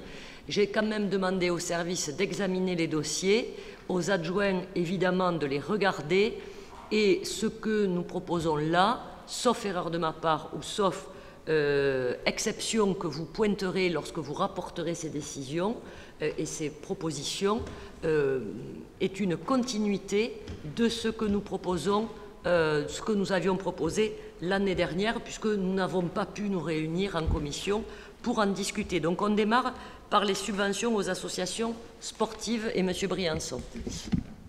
Donc vous avez tout dit, Madame le maire. Euh, il n'y a rien à rajouter. Effectivement, nous avons décidé de maintenir le, le, niveau de subventionnement, puisque comme vous avez dû le voir dans la presse ou dans les journaux télévisés, les associations vont être pour certaines en difficulté. Et beaucoup de collectivités ont fait ce choix-là, même certaines, de continuer à payer, même pour des événements qui n'avaient pas eu lieu, pour ne pas les mettre encore plus en difficulté. Donc nous avons proposé de reconduire, donc pour l'US Colomiers Basket, 320 000 euros, pour l'USC Colomiers Football, 444, 440 000 euros, l'association Colomiers Rugby, 561 000 euros, la SASP USC Colomiers Rugby Pro, 300 000 euros, l'association Canoë Kayak Plein Air, 1000 euros, et l'association de pêche loisirs compétition AAPPMA, 900 euros. Voilà, Madame le maire, mes chers collègues. Est-ce qu'il y a des interventions sur cette première partie? On continue avec les associations culturelles et c'est Madame Chevalier. Bonsoir. Alors, euh, donc pour le club loisir Léo Lagrange, nous maintenons à 60 000 euros. Pour Breaking School Production, 40 000 euros. De même que pour les enfants du paradis, 40 000 euros. Arpaillant, 6 000 euros. 13 000 euros pour Septambule. 1 800 euros pour la fanfare municipale de Colomiers. 35 000 euros pour la Fédération associative columérine, 700 euh, euros pour euh, la chorale populaire de Colomiers, le club montagne de Colomiers, quant à lui, ce sera 500 euros que nous proposons, euh, l'association columérine de sculpture, 250 euros, Art Colomiers Expo, 4 000 euros, columérine de chasse agréée, 200 euros, club des chiens actifs columérin, 300 euros et des 300 euros. Voilà pour les associations culturelles. Merci, madame. Est-ce que vous avez des... Oui, monsieur Keshti. Moi, je, moi, je demanderais qu'on dissocie euh, les votes, qu'on vote par grande euh, rubrique, association sportive, association culturelle, etc. Voilà. Donc, je l'ai fait tout présenter et ensuite on peut, on peut effectivement avoir des votes disjoints en fonction des blocs ou voire même dans les blocs thématiques disjoindre euh, certaines euh, subventions si vous le souhaitez, pas de difficulté. On poursuit avec euh, les associations euh, de démocratie locale et de solidarité. C'est Mme Moisan qui nous les présente. Oui, Madame le maire, donc nous poursuivons nos, subventions telles que nous avions données l'an dernier. De toute façon, c'est fait suivant les, budgets que nous avons reçus. Hein. donc euh, c'est très proche de la réalité. Euh, pour le secours populaire, nous avions euh, proposé une, subvention de 73 000 euros l'an dernier. Nous la reconduisons, même si nous savons d'ores et déjà qu'il faudra sûrement revoir à la fin de l'année peut-être ce budget, puisque bon, c'est un budget de, solidaire euh, important. La Croix-Rouge qui demande, alors j'ai dit 73 000 euros, la Croix-Rouge qui demandait 6 000 euros et on propose de donner 6 000 euros. Euh, cité en jeu, euh, c'est 6 000 euros pour le festival et 1 000 euros pour le fonctionnement. Le festival, ne sachant pas s'il aura lieu pour le moment, on, propose 5 500 euros. Le point rencontre chômeur demandé 22 000 euros, nous en proposons 20 000. Je passerai, si vous le permettez, la parole tout à l'heure à mon collègue Arnaud Simion. Le secours catholique demandé 8 000 euros et nous lui en proposons 8 000. L'espace âge d'or demandé 9 000 euros et on lui propose 6 500 euros. Il faut savoir que dans, pour l'espace âge d'or, il y a 4 000 euros de fonctionnement. Et Marqué 9 000 là, Madame Moisin. Hein espace âge d'or, 9 000. Non, mais je l'ai, mais je l'ai, mais euh, c'est pas ce que j'avais dit. Donc, euh, bon. Euh, je ne sais pas. Donc, parce que c'était l'idée, c'est que normalement, ils demandent 5 000 euros pour des ateliers qui n'ont pas eu lieu. Alors, moi, les instructions que j'ai données, alors c'est vrai que dans cette période, on, s'est peu vu finalement, donc on, va faire le débat maintenant, il n'y a pas de difficulté. On a documents différents. C'est que, euh, comme on n'a pas eu le temps forcément d'approfondir les instructions et de réunir les commissions, et d'approfondir les instructions avec les associations, on reconduit à l'identique euh, de, l'année dernière. Donc c'est possible que c'est ça qui s'est passé. Donc moi j'ai... Euh, euh, non mais j'ai travaillé le 9 000 euros espace d'or. J'ai travaillé le dossier et donc voilà, ben, écoutez, 9 000 euros espace d'or, ils seront contents. Monsieur Paterny va, va sauter de joie. Et les donneurs de sang de Colomiers, 1000 euros comme d'habitude. les chats libres de Colomiers, 2000 euros comme l'an dernier. le centre de ressources non-violence, pardon, 6 000 euros, Ripper Café, 1 000 euros, et Joyel, une petite association, 150 euros. Voilà, Madame le maire. Il y a des interventions sur ce bloc de subventions Pas. Alors, les associations liées au devoir de mémoire. Oui, Madame le maire. Donc, euh, une légère augmentation pour la FNACA et le Souvenir français, vu leur implication, là, puisqu'on finit le, le centenaire de, 14-18 où il s'était beaucoup impliqué avec les collèges de Colomiers, euh, donc 1200 euros au lieu de 1000 l'an dernier, et l'association France Victimes 31, ben, dont on a vu l'utilité pendant tout le Covid pour l'accompagnement des violences faites aux femmes et l'accompagnement de nos services, donc 5000 euros maintenus. Voilà, Madame le maire. Merci, Monsieur. Des observations sur ce bloc de délibération. Donc, Madame Casalis pour euh, l'urbanisme et on va dire euh, l'économique. Oui, Madame le maire, chers collègues, donc euh, reconduction de la subvention au club d'entreprise de l'Ouest toulousain à hauteur de 5 000 euros. Oui, Monsieur Simion. Un point d'information aux collègues, puisque des associations qui ont été citées vont être accompagnées par le conseil départemental, puisque nous avons décidé euh, de la création d'un fonds d'urgence pour le monde associatif de montant de 3,5 millions. Et donc, euh, plusieurs associations ont déjà bénéficié, euh, par un vote de la session du 26 mai, d'un accompagnement particulier. Madame Moisan a parlé du point rencontre chômeur qui est déjà accompagné à hauteur de 55 000 euros par le conseil départemental.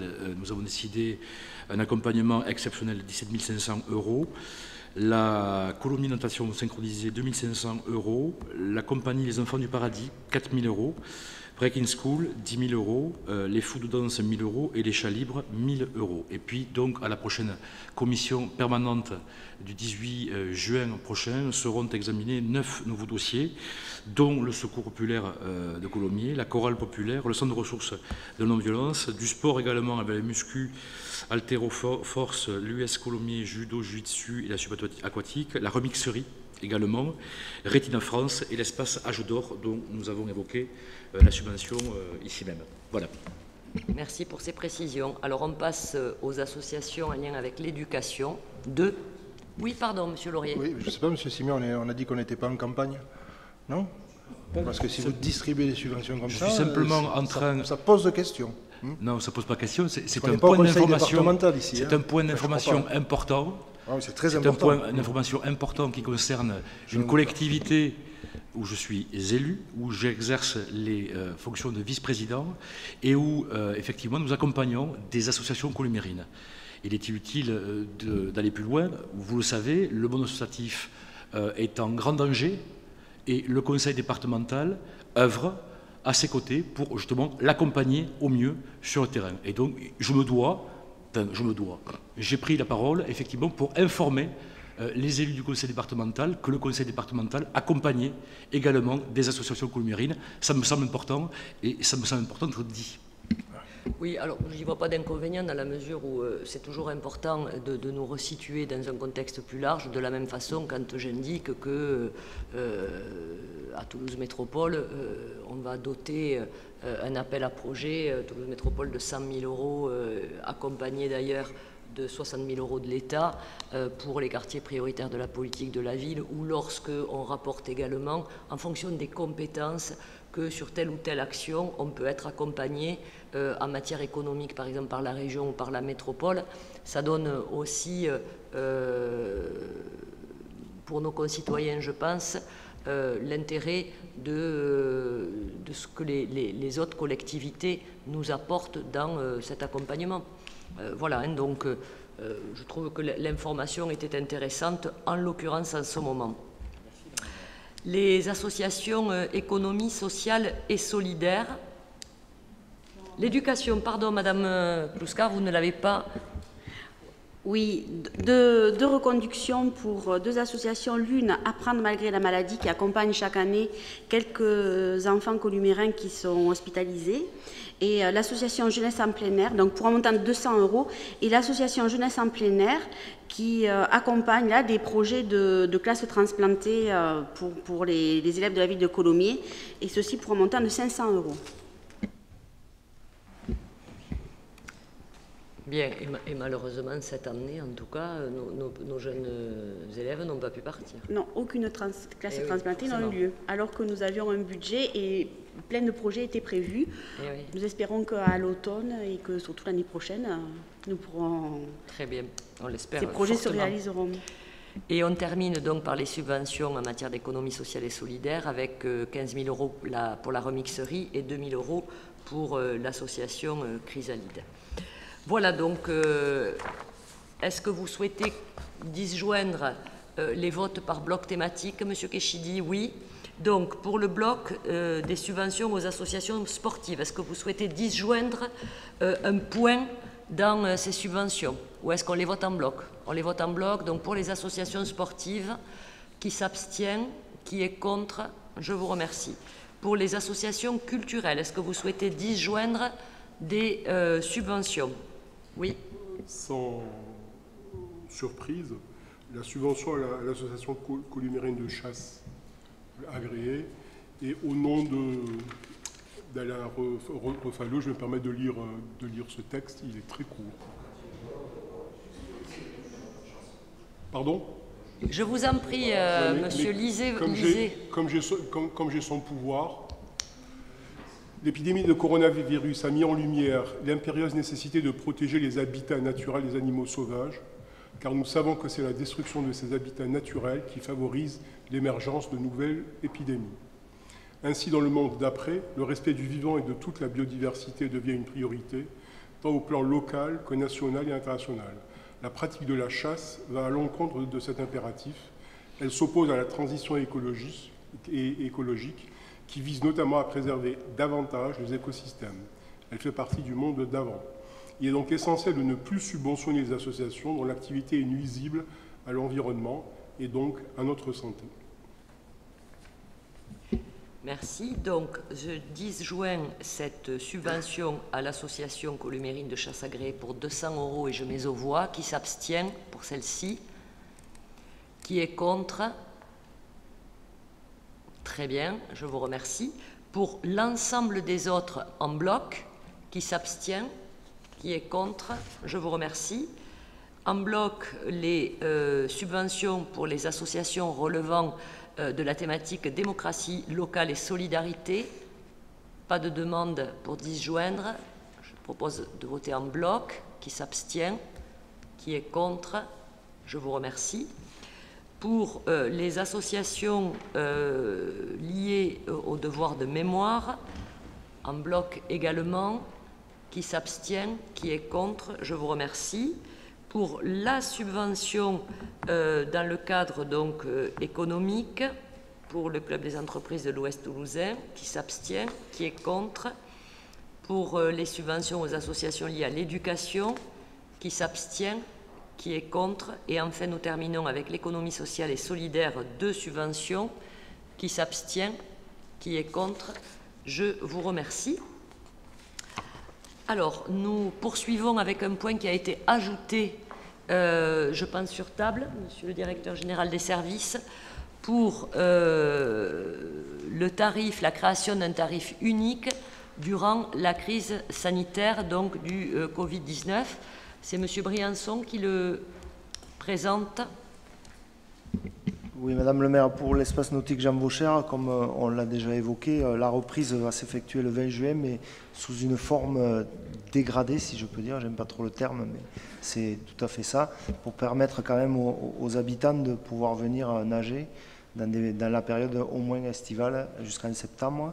Et donc, euh, compte tenu des restrictions euh, d'accès qui vont être mises en place, comme par exemple le fait que toute la partie euh, Sona ne va pas fonctionner, il est proposé d'appliquer un tarif unique de 3,50 euros. Et donc, ces mesures sont applicables jusqu'à la levée des mesures sanitaires nationales liées à l'épidémie. Voilà, Madame le maire, mes chers collègues. Bien, est-ce que vous avez des, observations? Bon, voilà, la, municipalité à venir verra s'il y a lieu de reconduire ces euh, dispositifs en fonction de l'évolution des, conditions euh, d'accès. Qui s'abstient Qui est contre Je vous remercie. Et euh, également des particularités, Madame Chevalier, pour le pavillon blanc, Henri Molina. Donc la reprise de l'activité du pavillon blanc Rimolina est possible suite à l'amélioration des conditions sanitaires dans le cadre de la phase 2 du déconfinement et à la disponibilité des moyens d'entretien. Les ouvrages, tout type confondus, devront être isolés 9 jours à compter du retour de prêt. De ce fait, le nombre d'ouvrages pouvant être empruntés passera à 10, tout support confondu, au lieu de 15 durant la période. Donc la période d'emprunt s'étendra à 5 semaines au lieu de 3 et ces mesures sont applicables jusqu'à la levée des mesures sanitaires nationales. Merci. Merci beaucoup. S'il n'y a pas d'observation, je mets aux voix. Qui s'abstient Qui vote contre Je vous remercie. Alors, on reste sur un chapitre euh, finance euh, pour euh, vous proposer une exonération des droits d'occupation du domaine public pour les terrasses. Donc, comme vous le savez, évidemment, le secteur des cafés-restaurants et de petits commerces, ce secteur-là est particulièrement touché par la crise. Euh, ces commerçants bénéficient habituellement d'un droit d'occupation du domaine public.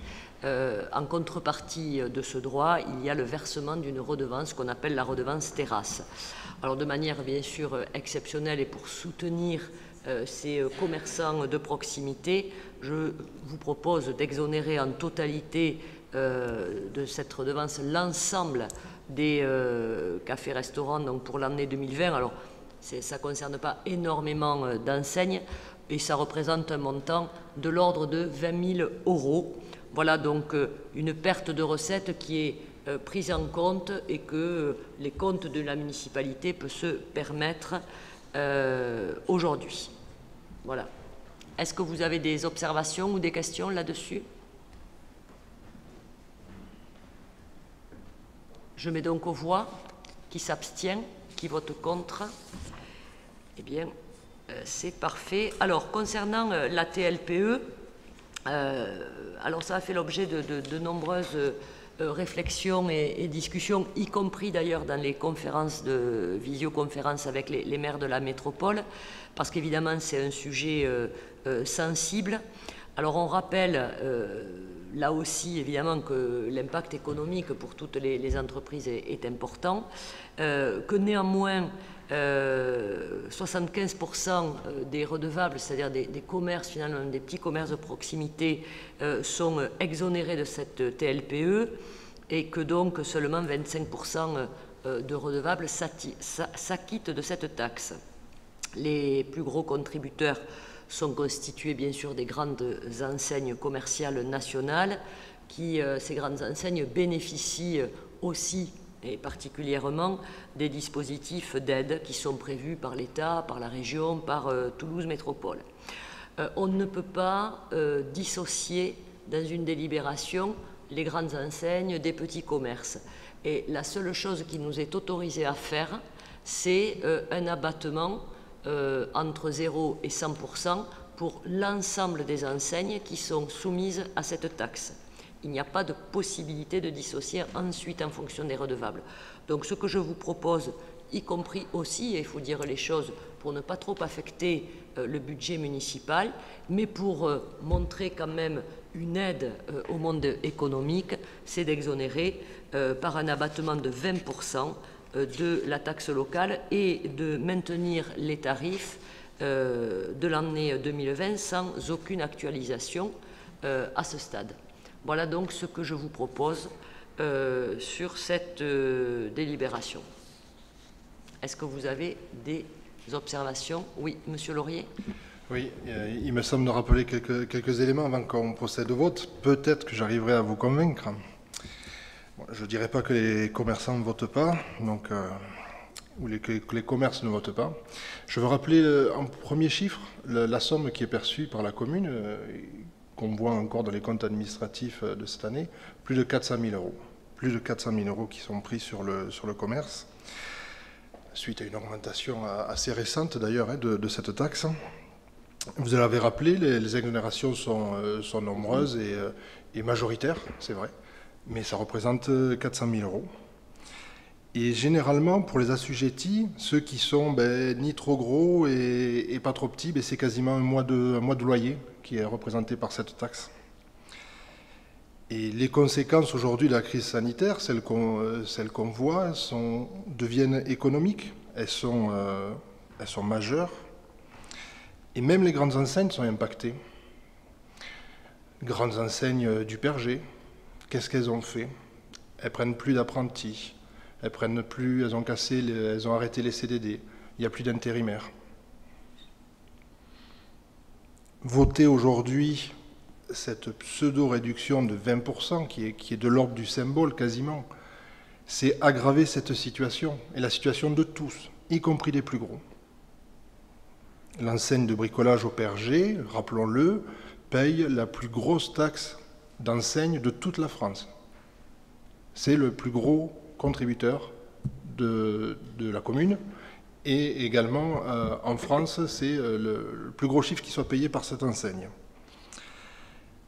Alors, euh, votre message, il est paradoxal. En début de conseil, vous nous dites, oui, on est avec le mode économique, avec les commerçants.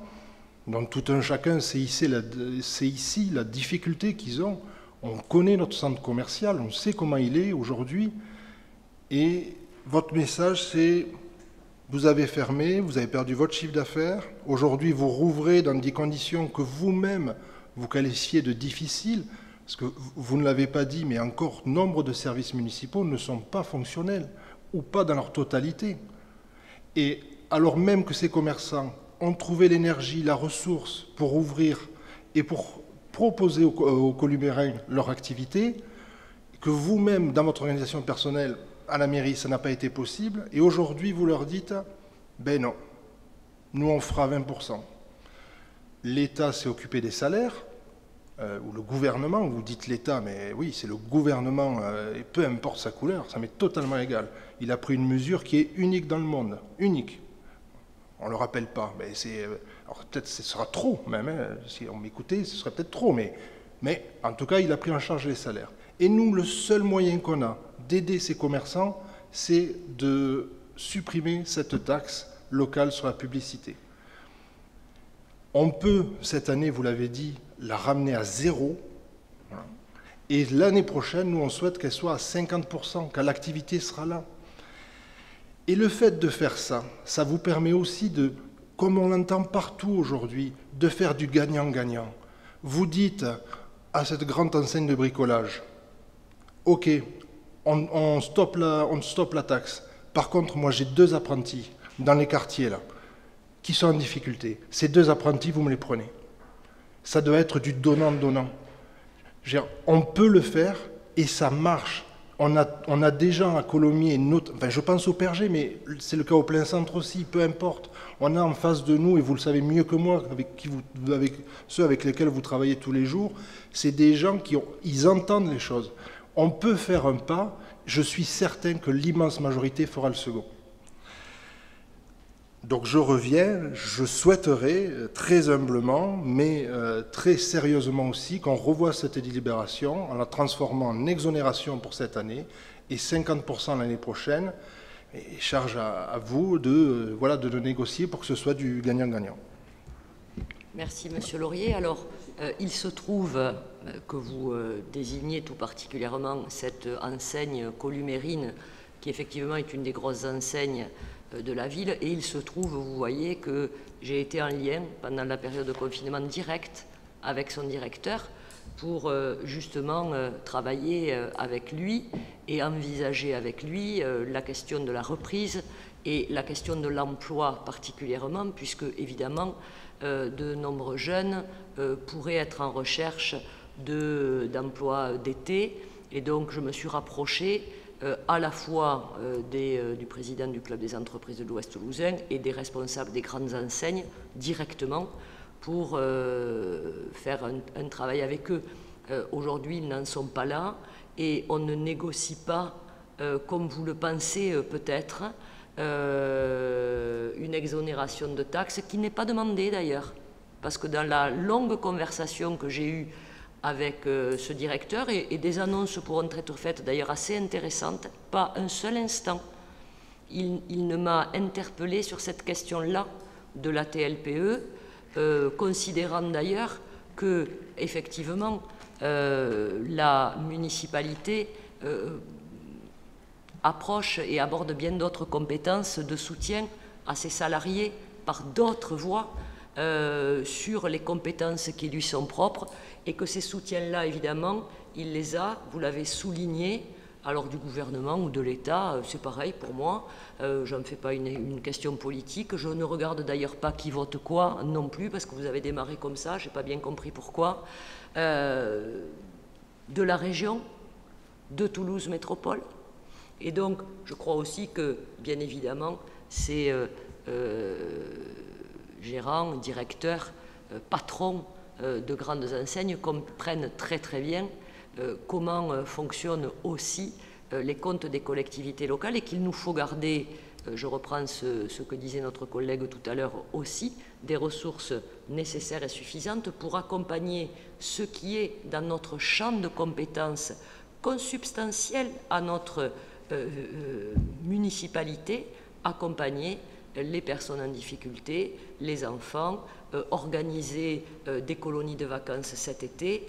Voilà, je crois, là où nous sommes utiles. Et finalement, vous qui êtes un homme du symbole, si j'ai bien compris en début de conseil municipal, eh bien oui, ce symbole-là, en tout cas, me paraît suffisamment important pour euh, être euh, fait et voté. Moi, je vais vous dire encore mieux, euh, mon idée de départ, et je le dis publiquement, c'était d'exonérer totalement les plus petites enseignes et de laisser en totalité la taxe sur les plus grosses, qui, elles, bénéficient déjà de structures nationales, qui, elles, bénéficient à plein des accompagnements des collectivités ou de l'État, ce que parfois, malheureusement, les petites ou moyennes entreprises ont du mal à se glisser dans les dispositifs.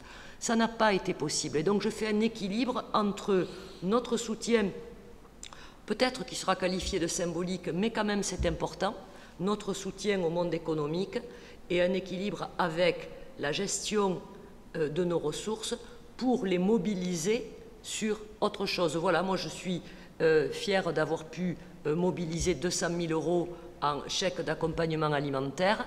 Et je pense que ces grandes enseignes le comprennent d'ailleurs tout à fait. Quant eux au gagnant-gagnant, malheureusement, dans les contacts que j'ai eus, et ça a été une des questions que j'ai posées, eh bien, aujourd'hui, ils ont décidé de ne pas ouvrir cette option. En tout cas, euh, je l'ai eu juste avant le déconfinement. C'était une option qui n'était pas ouverte. voilà, et donc je ne fais pas de marchandage de TLPE contre deux apprentis. Euh, on ne fonctionne pas comme ça dans nos relations globales aujourd'hui, de façon très simple et transparente. Euh, et, je pense que malheureusement, ça n'aurait pas ouvert la voie euh, vers cela, et que s'ils peuvent le faire, ils le feront, qu'on exonère de TLPE ou pas, parce qu'ils ont toujours accompagné la, jeunesse de proximité columérine sur ces emplois d'été, toujours. Donc ils le feront quand même. Ils le feront bien sûr quand même. Voilà.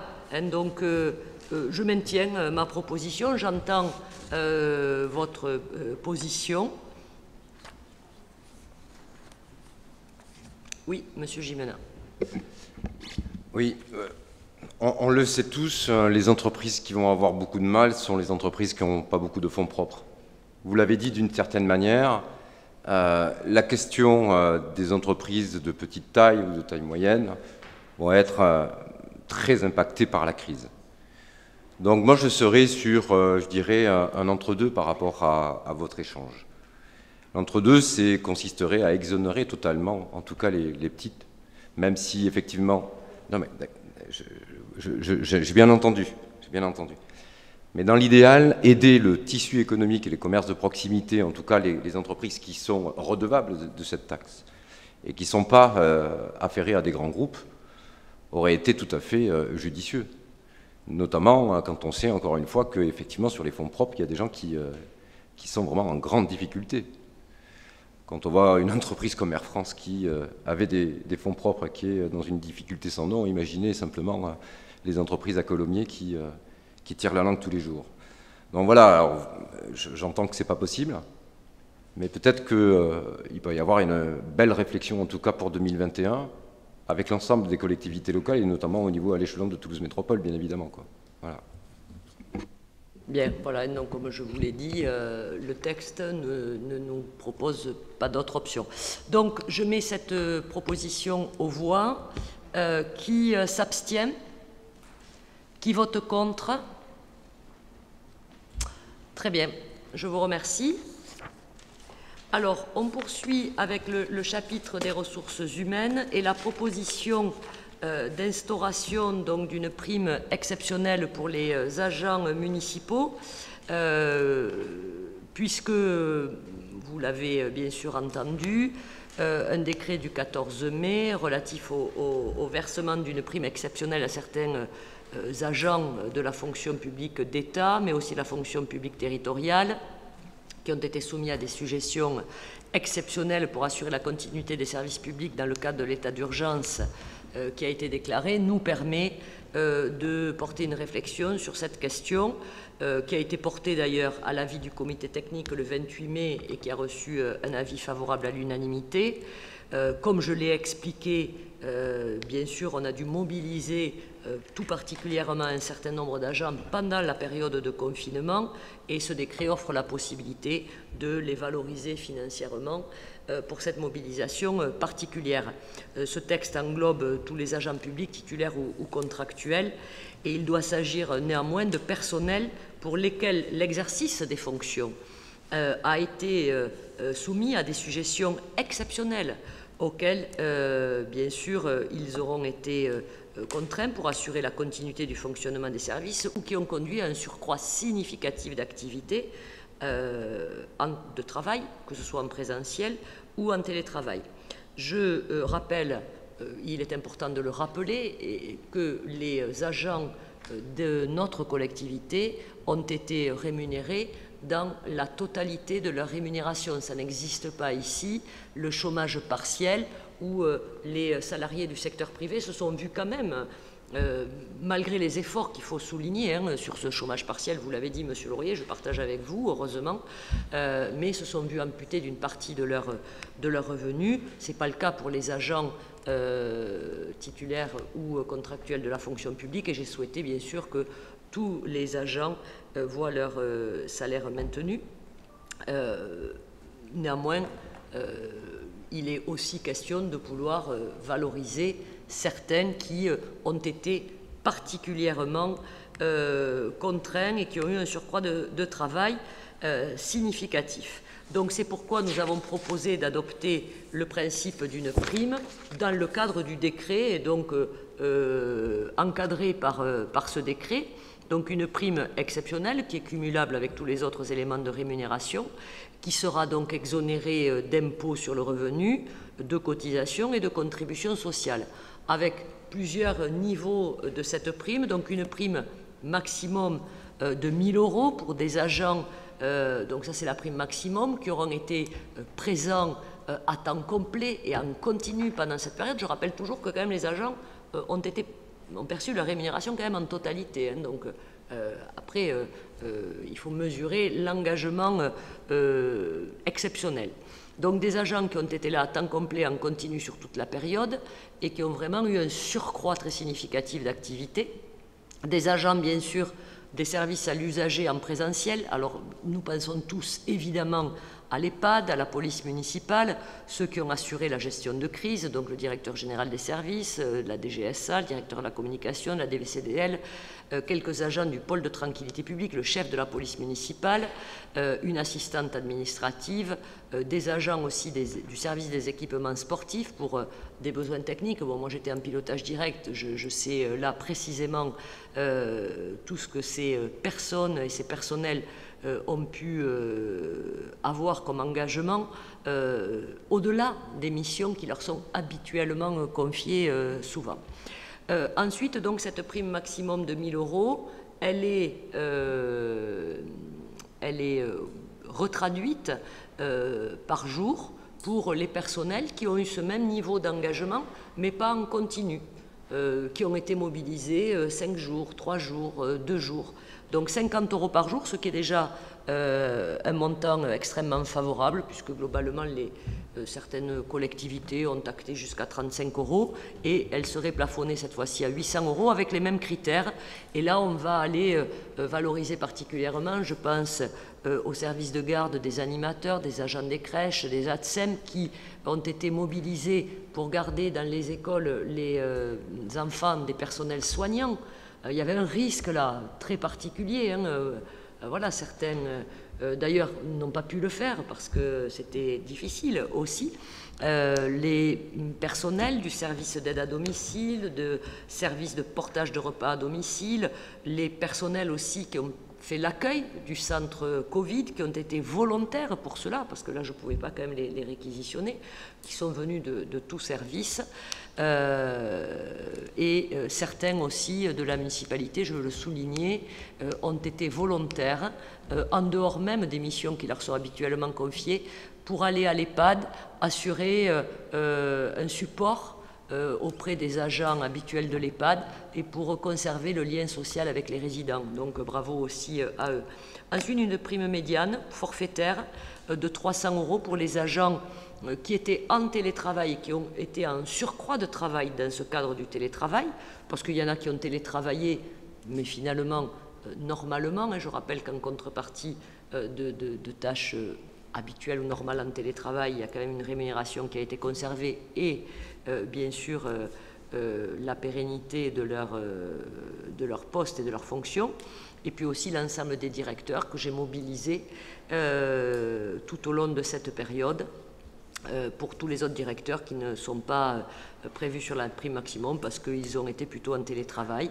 Et enfin, une prime de 30 euros par jour, plafonnée à 500 euros pour tous les autres agents qui sont venus euh, réaliser des, missions ponctuelles, particulières, mais qui n'ont pas été en présentiel, en difficulté, soumis à des contraintes plus complexes. Voilà, donc globalement, selon les premiers éléments de euh, calcul et de pointage qui ont été réalisés par le directeur général des services qui, euh, euh, qui pourra tenir des éléments très précis, on devrait être autour de 160 000 euros environ pour, pour cette prime. Voilà pour cette délibération. Est-ce que vous avez des questions ou des observations? Je le mets. Oui, Monsieur Keshidi. sur le principe d'accorder une, prime aux personnes qui ont été, euh, qui ont été au front durant cette euh, période. Je crois que vous ne trouvez personne dans, dans, cette salle pour, euh, pour dire le contraire. En revanche, je suis quand même étonné que ce qu'on a appelé ceux qui étaient en première ligne, les gens utiles, hein, ne reçoivent pas la prime maximale.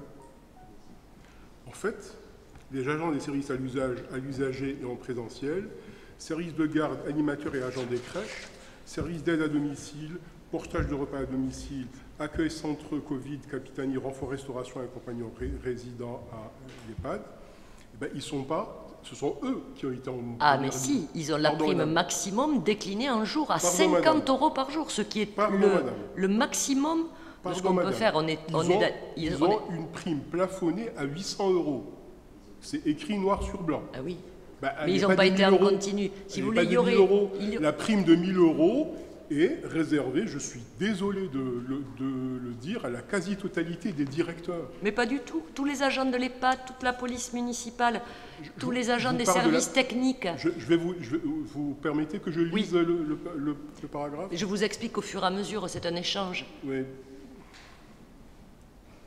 Sincèrement, j'aurais dû vous expliquer ce que c'est une ligne de trésorerie.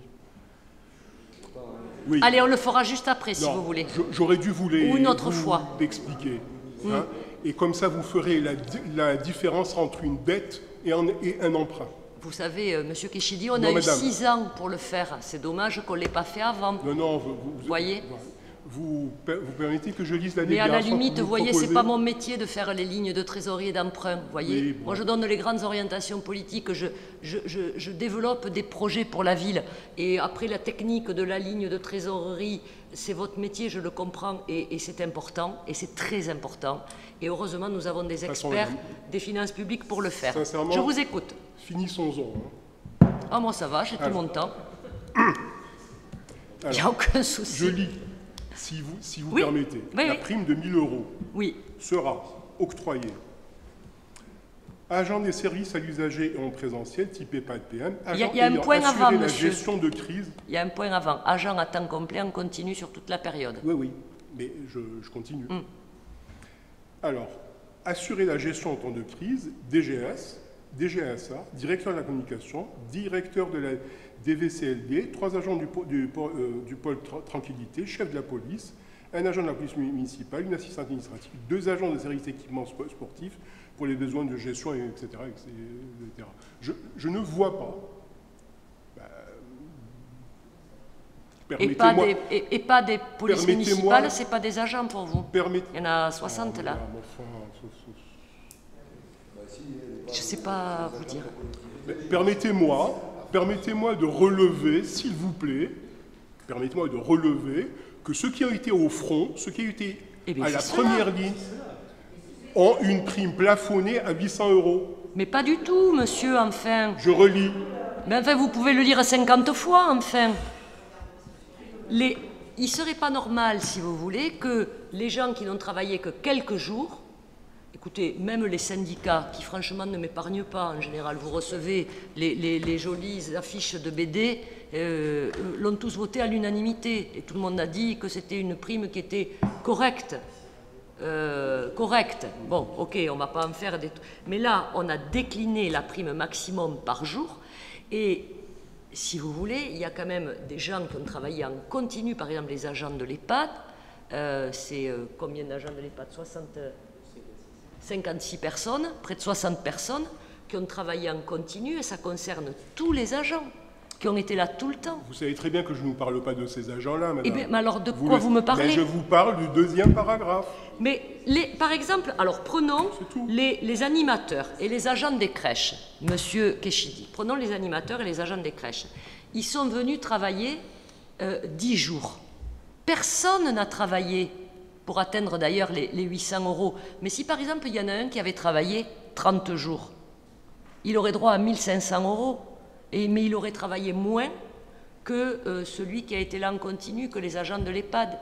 Donc il y avait quelque chose d'anormal, il fallait quand même aussi créer une, euh, un, niveau différencié. Voilà.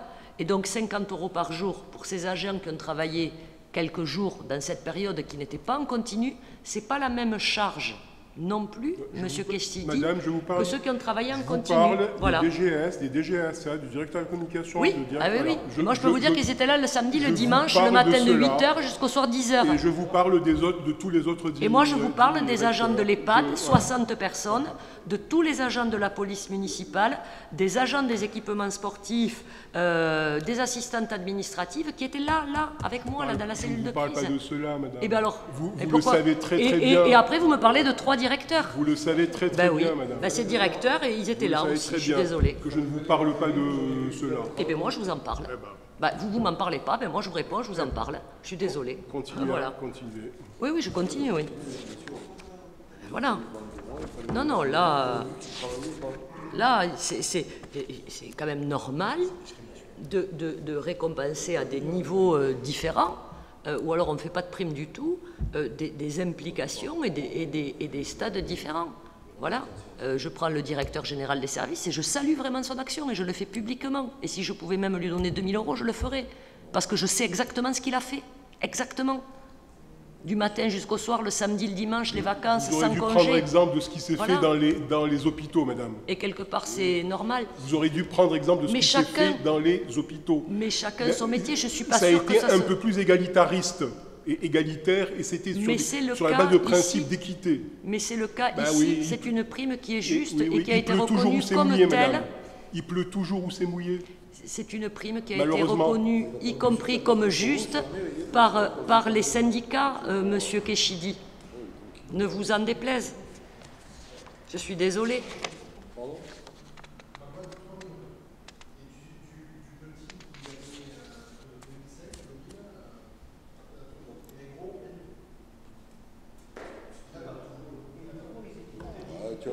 Mais tout le monde est... euh, Tu vas finir par voter à gauche, toi.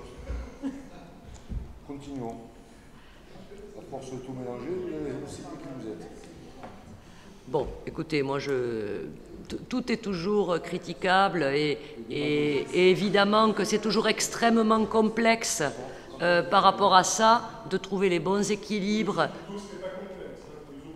Mais moi, je ne gère pas un hôpital, monsieur Keshidi. Écoutez, j'ai lu des articles, là, justement, récemment. J'ai lu un article ré récemment où je ne suis pas tout à fait certaine, Monsieur Keshidi, vous serez démenti quand vous dites ça. Vous serez démenti? Vous serez démenti quand vous dites ça, Monsieur Keshidi, vous le savez.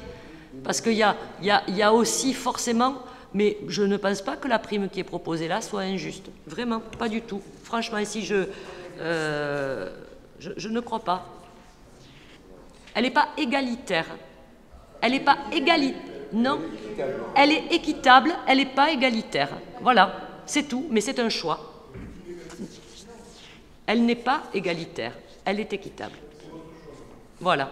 Alors donc c'est la proposition que je vous fais, et maintenant chacun peut en effet exprimer son vote. Donc je mets aux voix qui s'abstient, qui vote contre. Très bien, je vous remercie. Ensuite, une délibération euh, très technique dont vous avez euh, l'habitude pour le recrutement d'agents contractuels pour les emplois saisonniers, puisque nous avons là aussi souhaité conserver euh, le recours aux emplois saisonniers dans les conditions que vous connaissez et habituelles. Je mets aux voix qui s'abstient, qui vote contre. Je vous remercie. Nous poursuivons avec l'approbation du compte administratif pour l'exercice 2019 et c'est M. Briançon qui nous le présente pour le budget principal, pour commencer. Vous avez la parole, M. Briançon. Non? Oui, oui, si, si, tout à fait. Ah bon, non, mais si, si. je sentais un je, je flottement. J'aurais pas dû le, le faire, euh, malheureusement, je veux dire. Et puis, euh, dû au, à la conjoncture, c'est moi qui le présente. C'est vrai. Et oui, C'est donc, donc on aura bouclé euh, complètement la boucle, ce On n'est pas le cas d'habitude. oui, Finalement.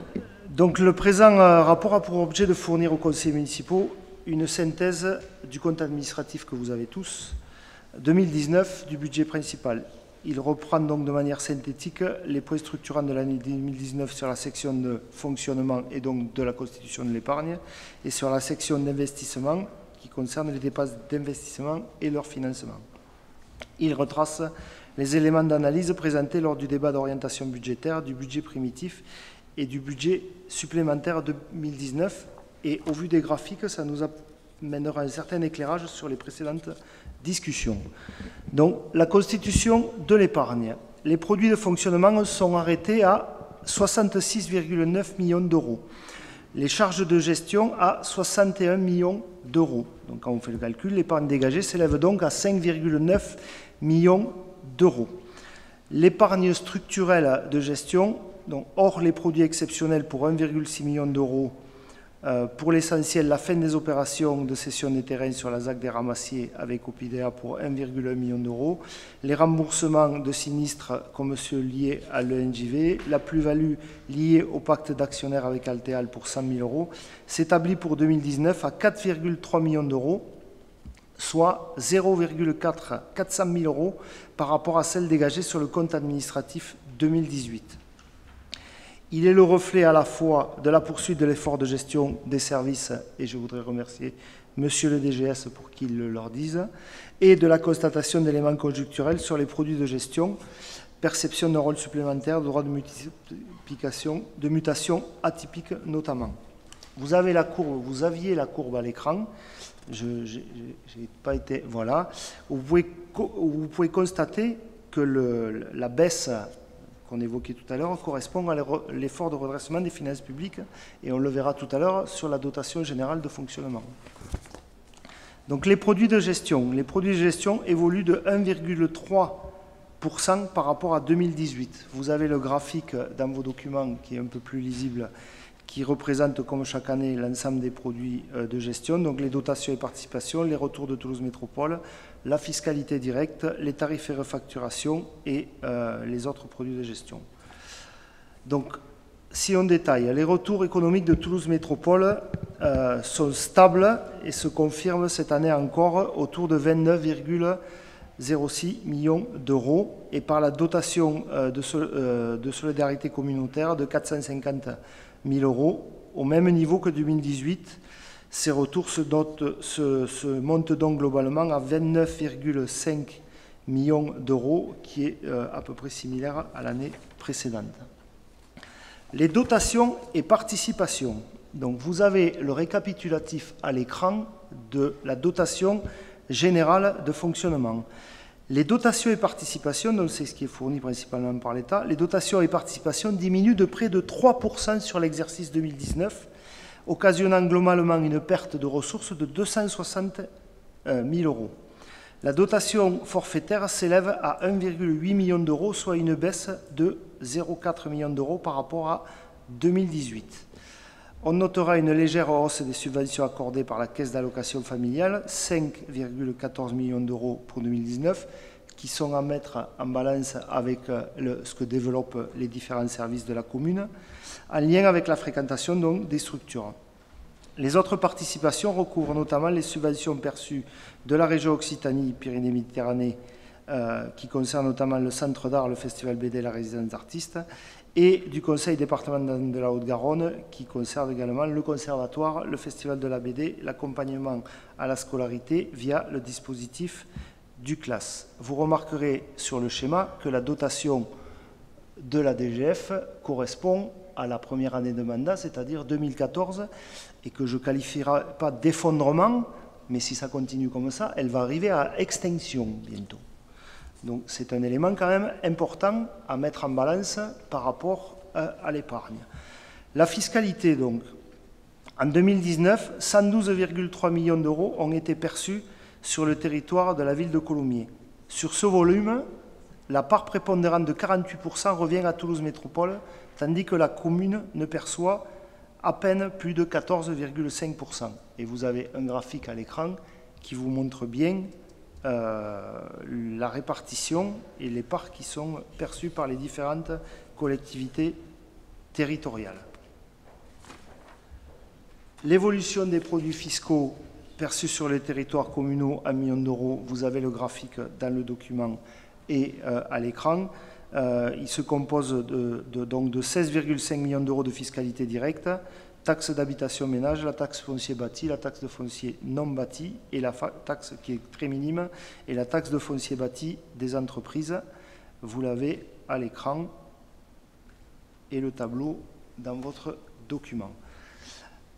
Sur la partie des tarifs et refacturation, ils sont stables cette année encore. Les produits perçus en 2019 au titre des services proposés par la ville s'élèvent donc à 5,2 millions d'euros et confirment la forte fréquentation de nos structures. Vous avez la décomposition de ces produits par secteur notamment avec les deux plus grosses parties que sont le périscolaire et l'espace nautique Jean. Donc vous pouvez mesurer l'intérêt porté aux établissements de la commune. Les refacturations sont stables pour 2010, depuis 2017, notamment les refacturations de frais de gestion et les charges en ressources humaines, notamment au CCAS ou à des institutions suite à des détachements de personnel, sont arrêtés à 1,4 million d'euros. Et vous avez également le graphique à l'écran des refacturations au CCAS et aux différentes structures. Voilà. Les autres produits qui terminent les produits de gestion, une forte progression est constatée sur 2019, essentiellement due à la, perception de deux droits de mutation euh, de plus de 200 000 euh, euros qui permettent un niveau annuel de cette taxe à plus de 1,9 million d'euros par rapport à 2018. L'absence de ces deux versements exceptionnels par leur montant nous aurait conduit sur 2019 à constater un niveau stable ou égal à 2018. Les produits liés à la taxe locale sur la publicité extérieure dont on vient de parler sont conformes à la période 2014-2018 et restent donc stables à 400 000 euros. Et vous avez le graphique sur euh, l'ensemble de la mandature. Euh, voilà, donc à noter que parmi les 823 commerces actifs, 72%, on le redit, des commerces du territoire restent exonérés de la TLPE compte tenu du seuil de taxation qui est de 12 mètres carrés. Maintenant, on en vient aux charges de gestion. Donc, vous avez les principales euh, charges de gestion, les ressources humaines, les subventions et participations et les charges de gestion courantes respectivement pour 43,8 millions d'euros, 4,9 millions d'euros pour les subventions et participations et 11,9 millions d'euros de charges de gestion courantes. Les charges courantes de fonctionnement, donc, elles intègrent les achats courants, les denrées alimentaires notamment, et les frais liés au fonctionnement des services. Elles s'élèvent à 11,9 millions d'euros, soit un niveau en légère hausse par rapport à 2018, notamment lié à l'évolution du poste-contrat et principalement les prestations de médecine préventive, 100 kg euros, la mission d'accompagnement RH, 50 kg euros, la maintenance des toitures, les contrôles techniques et qualité de l'air, 100 kg euros, et l'augmentation de la prestation de la société de sécurité sur la période estivale pour l'espace nautique de 50 000 euros. Vous avez la répartition donc, des compositions annuelles des charges générales à l'écran et dans votre document on en vient au chapitre des ressources humaines. le budget évolue de moins 1% dû essentiellement à la réactivation du, euh, du, PPCR, donc les parcours professionnels et carrières et rémunérations. Cette évolution confirme la maîtrise de la masse salariale et vous avez le schéma également à l'écran. En ce qui concerne les participations et les subventions, les subventions aux associations se relèvent euh, stables depuis 2015 avec un montant aux alentours de 2,8 millions d'euros. La subvention au CECAS, au, Centre communal d'action sociale, se monte à 1,5 million d'euros et stable par rapport à 2018. Et cela confirme bien le maintien de l'engagement de la collectivité en matière d'accompagnement social, de maintien de personnes euh, âgées à domicile et de prise en charge de la dépendance de nos aînés. Et vous avez donc sur le graphique, ça c'est le montant, l'évolution sur le montant global. Et vous avez donc la répartition sur le graphique suivant ou sur le graphique que vous avez dans votre document. Donc en conclusion sur le niveau d'épargne, en tenant compte de l'ensemble de ces éléments, notre épargne de gestion de 5,9 millions d'euros diminuée des intérêts de la dette de l'ordre de 100 000 euros permet de constater une épargne brute à hauteur de 5,8 millions d'euros. En ce qui concerne les dépenses d'investissement sur 2019 et leur, et leur financement, les dépenses d'investissement au titre du plan pluriannuel d'investissement, le PPI, ont connu en 2019 un taux de réalisation de 86%. Elles s'articulent principalement autour des investissements réalisés pour euh, l'axe éducation, donc la finalisation, de la rénovation du groupe scolaire élémentaire à Lamartine et le démarrage du projet de construction de l'école élémentaire à Simone-Veil pour environ 5 millions d'euros. Des projets structurants, la rénovation de l'installation de ventilation de l'hôtel de ville pour 600 000 euros, la poursuite de la mise en œuvre du projet de vidéoprotection pour 500 000 euros, le réaménagement de l'espace nautique Jean Vaucher pour 600 000 euros. Ou la poursuite des travaux engagés sur le patrimoine bâti communal euh, pour, la pour la mise en accessibilité euh, des personnes en situation de handicap pour 100 000 euros. Les enveloppes récurrentes dédiées à l'entretien du patrimoine bâti ou euh, des services, donc respectivement 1,8 million chacun, dont 700 000 euros au titre du schéma directeur informatique et vous avez la répartition du plan pluriannuel en année sur le chapitre suivant. L'ensemble de ces dépenses est financé par l'épargne dégagée en fonctionnement à hauteur de 5,9 millions d'euros ainsi que différentes recettes, dont l'épargne structurelle de gestion pour 4,3 millions d'euros, des produits exceptionnels versés en fonctionnement sur des opérations patrimoniales pour un peu moins de 1,7 million d'euros, notamment la cession des terrains des ramassiers, les suites de la modification du pacte d'actionnaires et le solde des remboursements des sinistres de la NJV. Euh, le fonds de compensation de la TVA pour un peu plus de 1 million d'euros, 1 million 080. Les subventions du Conseil départemental de la Haute-Garonne dans le cadre du contrat de territoire pour l'accompagnement des travaux de rénovation de l'hôtel de ville à hauteur de 150 000 euros et de l'accompagnement du projet extension et de rénovation du groupe scolaire à la Martine, notamment pour sa première tranche, à hauteur de 250 000 euros. Au regard du besoin de financement du compte administratif 2019 et des restes à réaliser, 2 millions d'euros ont été mobilisés courant 2019 et une consultation auprès des établissements bancaires pour 4 millions d'euros a fait l'objet de deux signatures de contrats d'emprunt de 2 millions d'euros, respectivement souscrits auprès du Crédit Agricole et de la Banque Postale fin 2019, mais n'ont pas fait l'objet d'une mobilisation.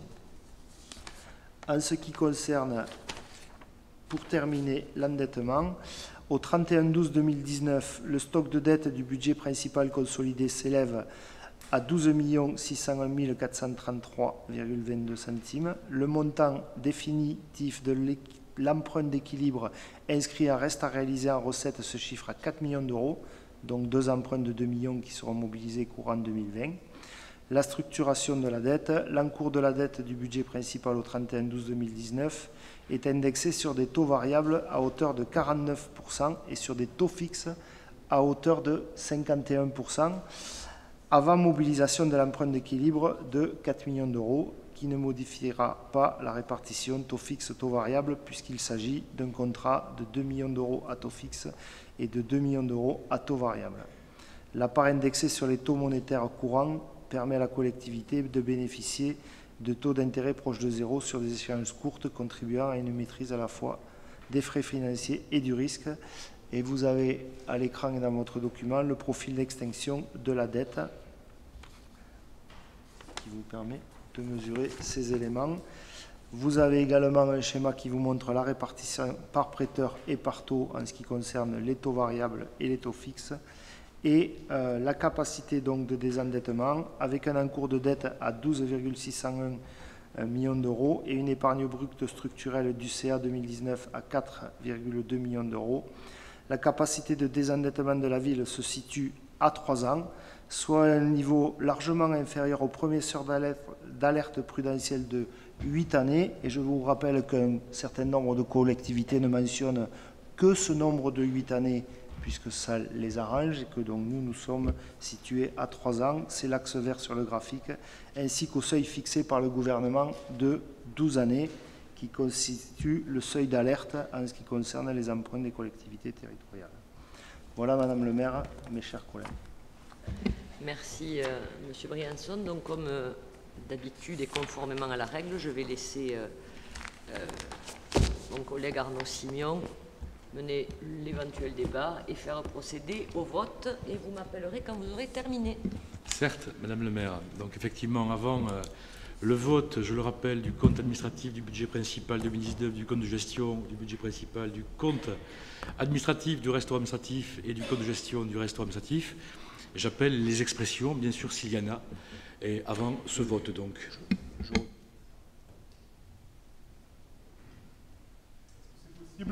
Est-ce que c'est possible de disjoindre les deux votes? Le vote sur le compte de, de mais c'est c'est la règle, Monsieur Richini. On fait toujours comme ça. on vote, on, je voulais dire, on vote d'abord le compte. Mais c'est pas. Alors moi je. Attendez, Monsieur Laurier. Doucement, on se calme. S'il vous plaît, Madame le maire m'a confié la présidence jusqu'à présent, donc on va se calmer. Donc j'ai bien dit clairement que nous votions d'abord le compte administratif et qu'en suivant, nous avions le, compte de gestion. les choses sont claires, je ne vais pas les répéter. J'appelle les expressions maintenant si vous avez des, remarques à formuler sur ce compte administratif. Merci de vous exprimer si vous le voulez. Oui, si vous. Voilà. Juste. Euh, donc, c'est la, la délibération numéro 8 qui s'appelle Approbation du compte administratif budget principal. Et la délibération numéro 9, c'est approbation du compte administratif, budget, restaurant administratif. Je ne vois pas dans ce document où est la disjonction, puisque en page... c'est pénible, hein, c'est vraiment pénible. C'est ne, ne, finissez pas comme ça. C'est vous qui finissez comme ça. Monsieur Kichidi, vous n'êtes hélas pas sur euh, des listes euh, qui, vous présentez au municipal. c'est votre dernier conseil municipal. Ne finissez pas comme ça. Euh, parlez clairement, tranquillement, sereinement, et nous vous écoutons. Je, le je parle le plus clairement possible. Alors nous vous écoutons, Monsieur Kichidi. Il n'y a pas de possibilité de disjoindre les deux votes, les deux délibérations, puisque ça n'est pas fait dans le document qui est donné. Donc à la page où il est demandé au Conseil, il y a une, deux, trois, quatre, cinq, six, six approbations, dont d'approuver le compte de gestion. Voilà. Est-ce que c'est possible de disjoindre les deux votes? C'est simple. le vote entre le budget principal et le restaurant administratif, c'est ça que vous Non, du tout. Enfin, euh, apparemment, je ne m'exprime pas non, clairement. Pas, pas clairement, effectivement. Eh ben alors, je vais, je, vais, je vais reprendre. Je vous remercie. Voilà. Je vous remercie. Il y a deux, il y a deux délibérations. La délibération numéro 8, oui. compte administratif. Nous sommes d'accord. La, la, délibération numéro 9, compte administratif, restaurant. Nous sommes d'accord. Voilà. Ce que je vous propose, et vous m'avez dit que c'était possible, de disjoindre de disjoindre. Eh Ça n'est pas fait dans le, dans, le, dans, le, dans le document. Ça n'est pas fait dans le document. Mais M. Kichidi, on s'est donc très bien compris. Ah on disjoint le vote du compte administratif et le vote du compte de gestion. On est d'accord C'est ça que vous dites Oui. Et vous, eh me, ben, donc, euh, vous me donnez le numéro de cette délibération Pardon Vous me donnez le numéro de cette délibération qui fait cette disjonction bah oui, enfin, 8 et 9, monsieur Kishidi. Enfin, quand même. 8 et 9. D'autres oreilles. Je suis bouchal.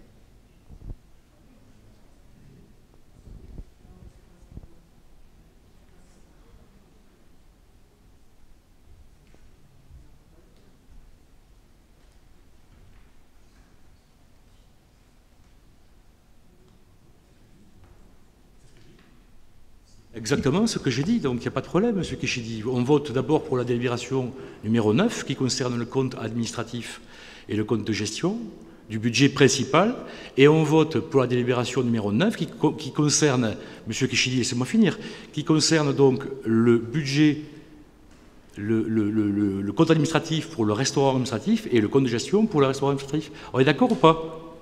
Eh bien, écoutez, c'est pour ça, comme ça, c'est comme ça qu'on va faire. C'est comme ça qu'on a fait depuis six ans, Monsieur Kishidi.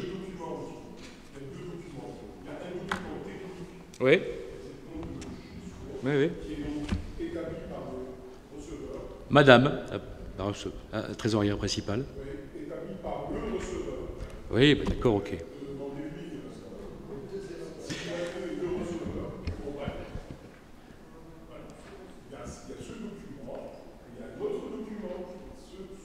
Oui, absolument.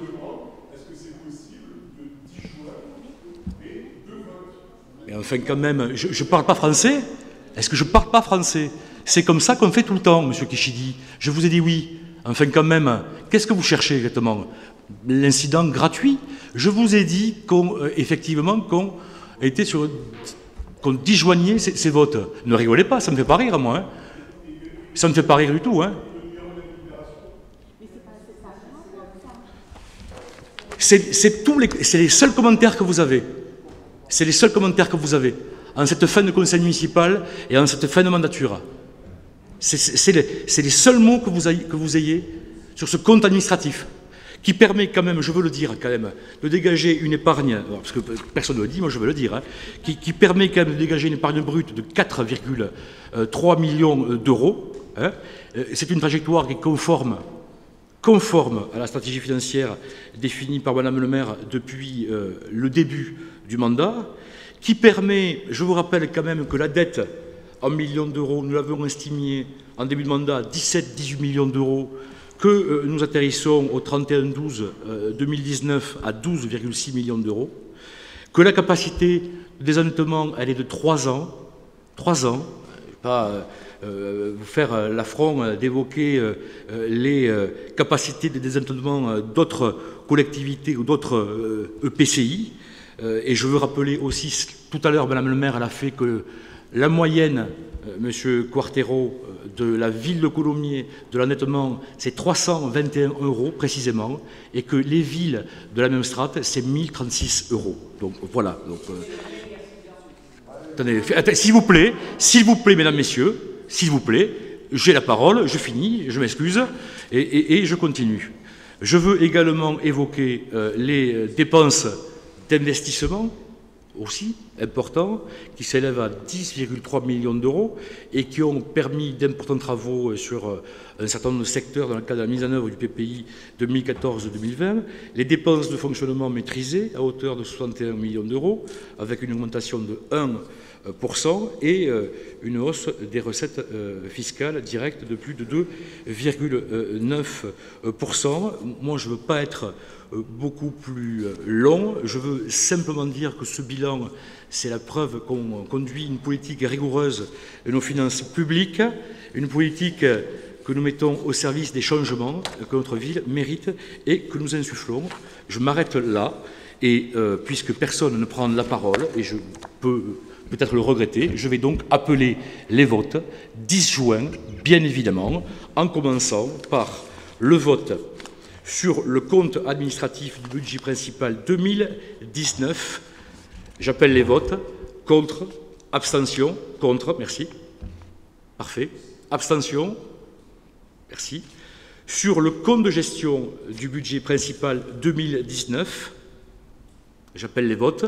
Contre, abstention, merci et sur le compte administratif. Non, c'est fini, Monsieur Keshidi. On a voté sur une délibération qui, sur le compte, n'existe pas. Monsieur sur le compte administratif du restaurant administratif 2019, contre, merci, abstention, et sur le compte de gestion du restaurant administratif 2019, contre, abstention, merci beaucoup. Merci, mesdames, messieurs. Madame le maire peut être rappelée. Elle a le quitus sur les deux budgets euh, que nous venons d'étudier. Merci beaucoup.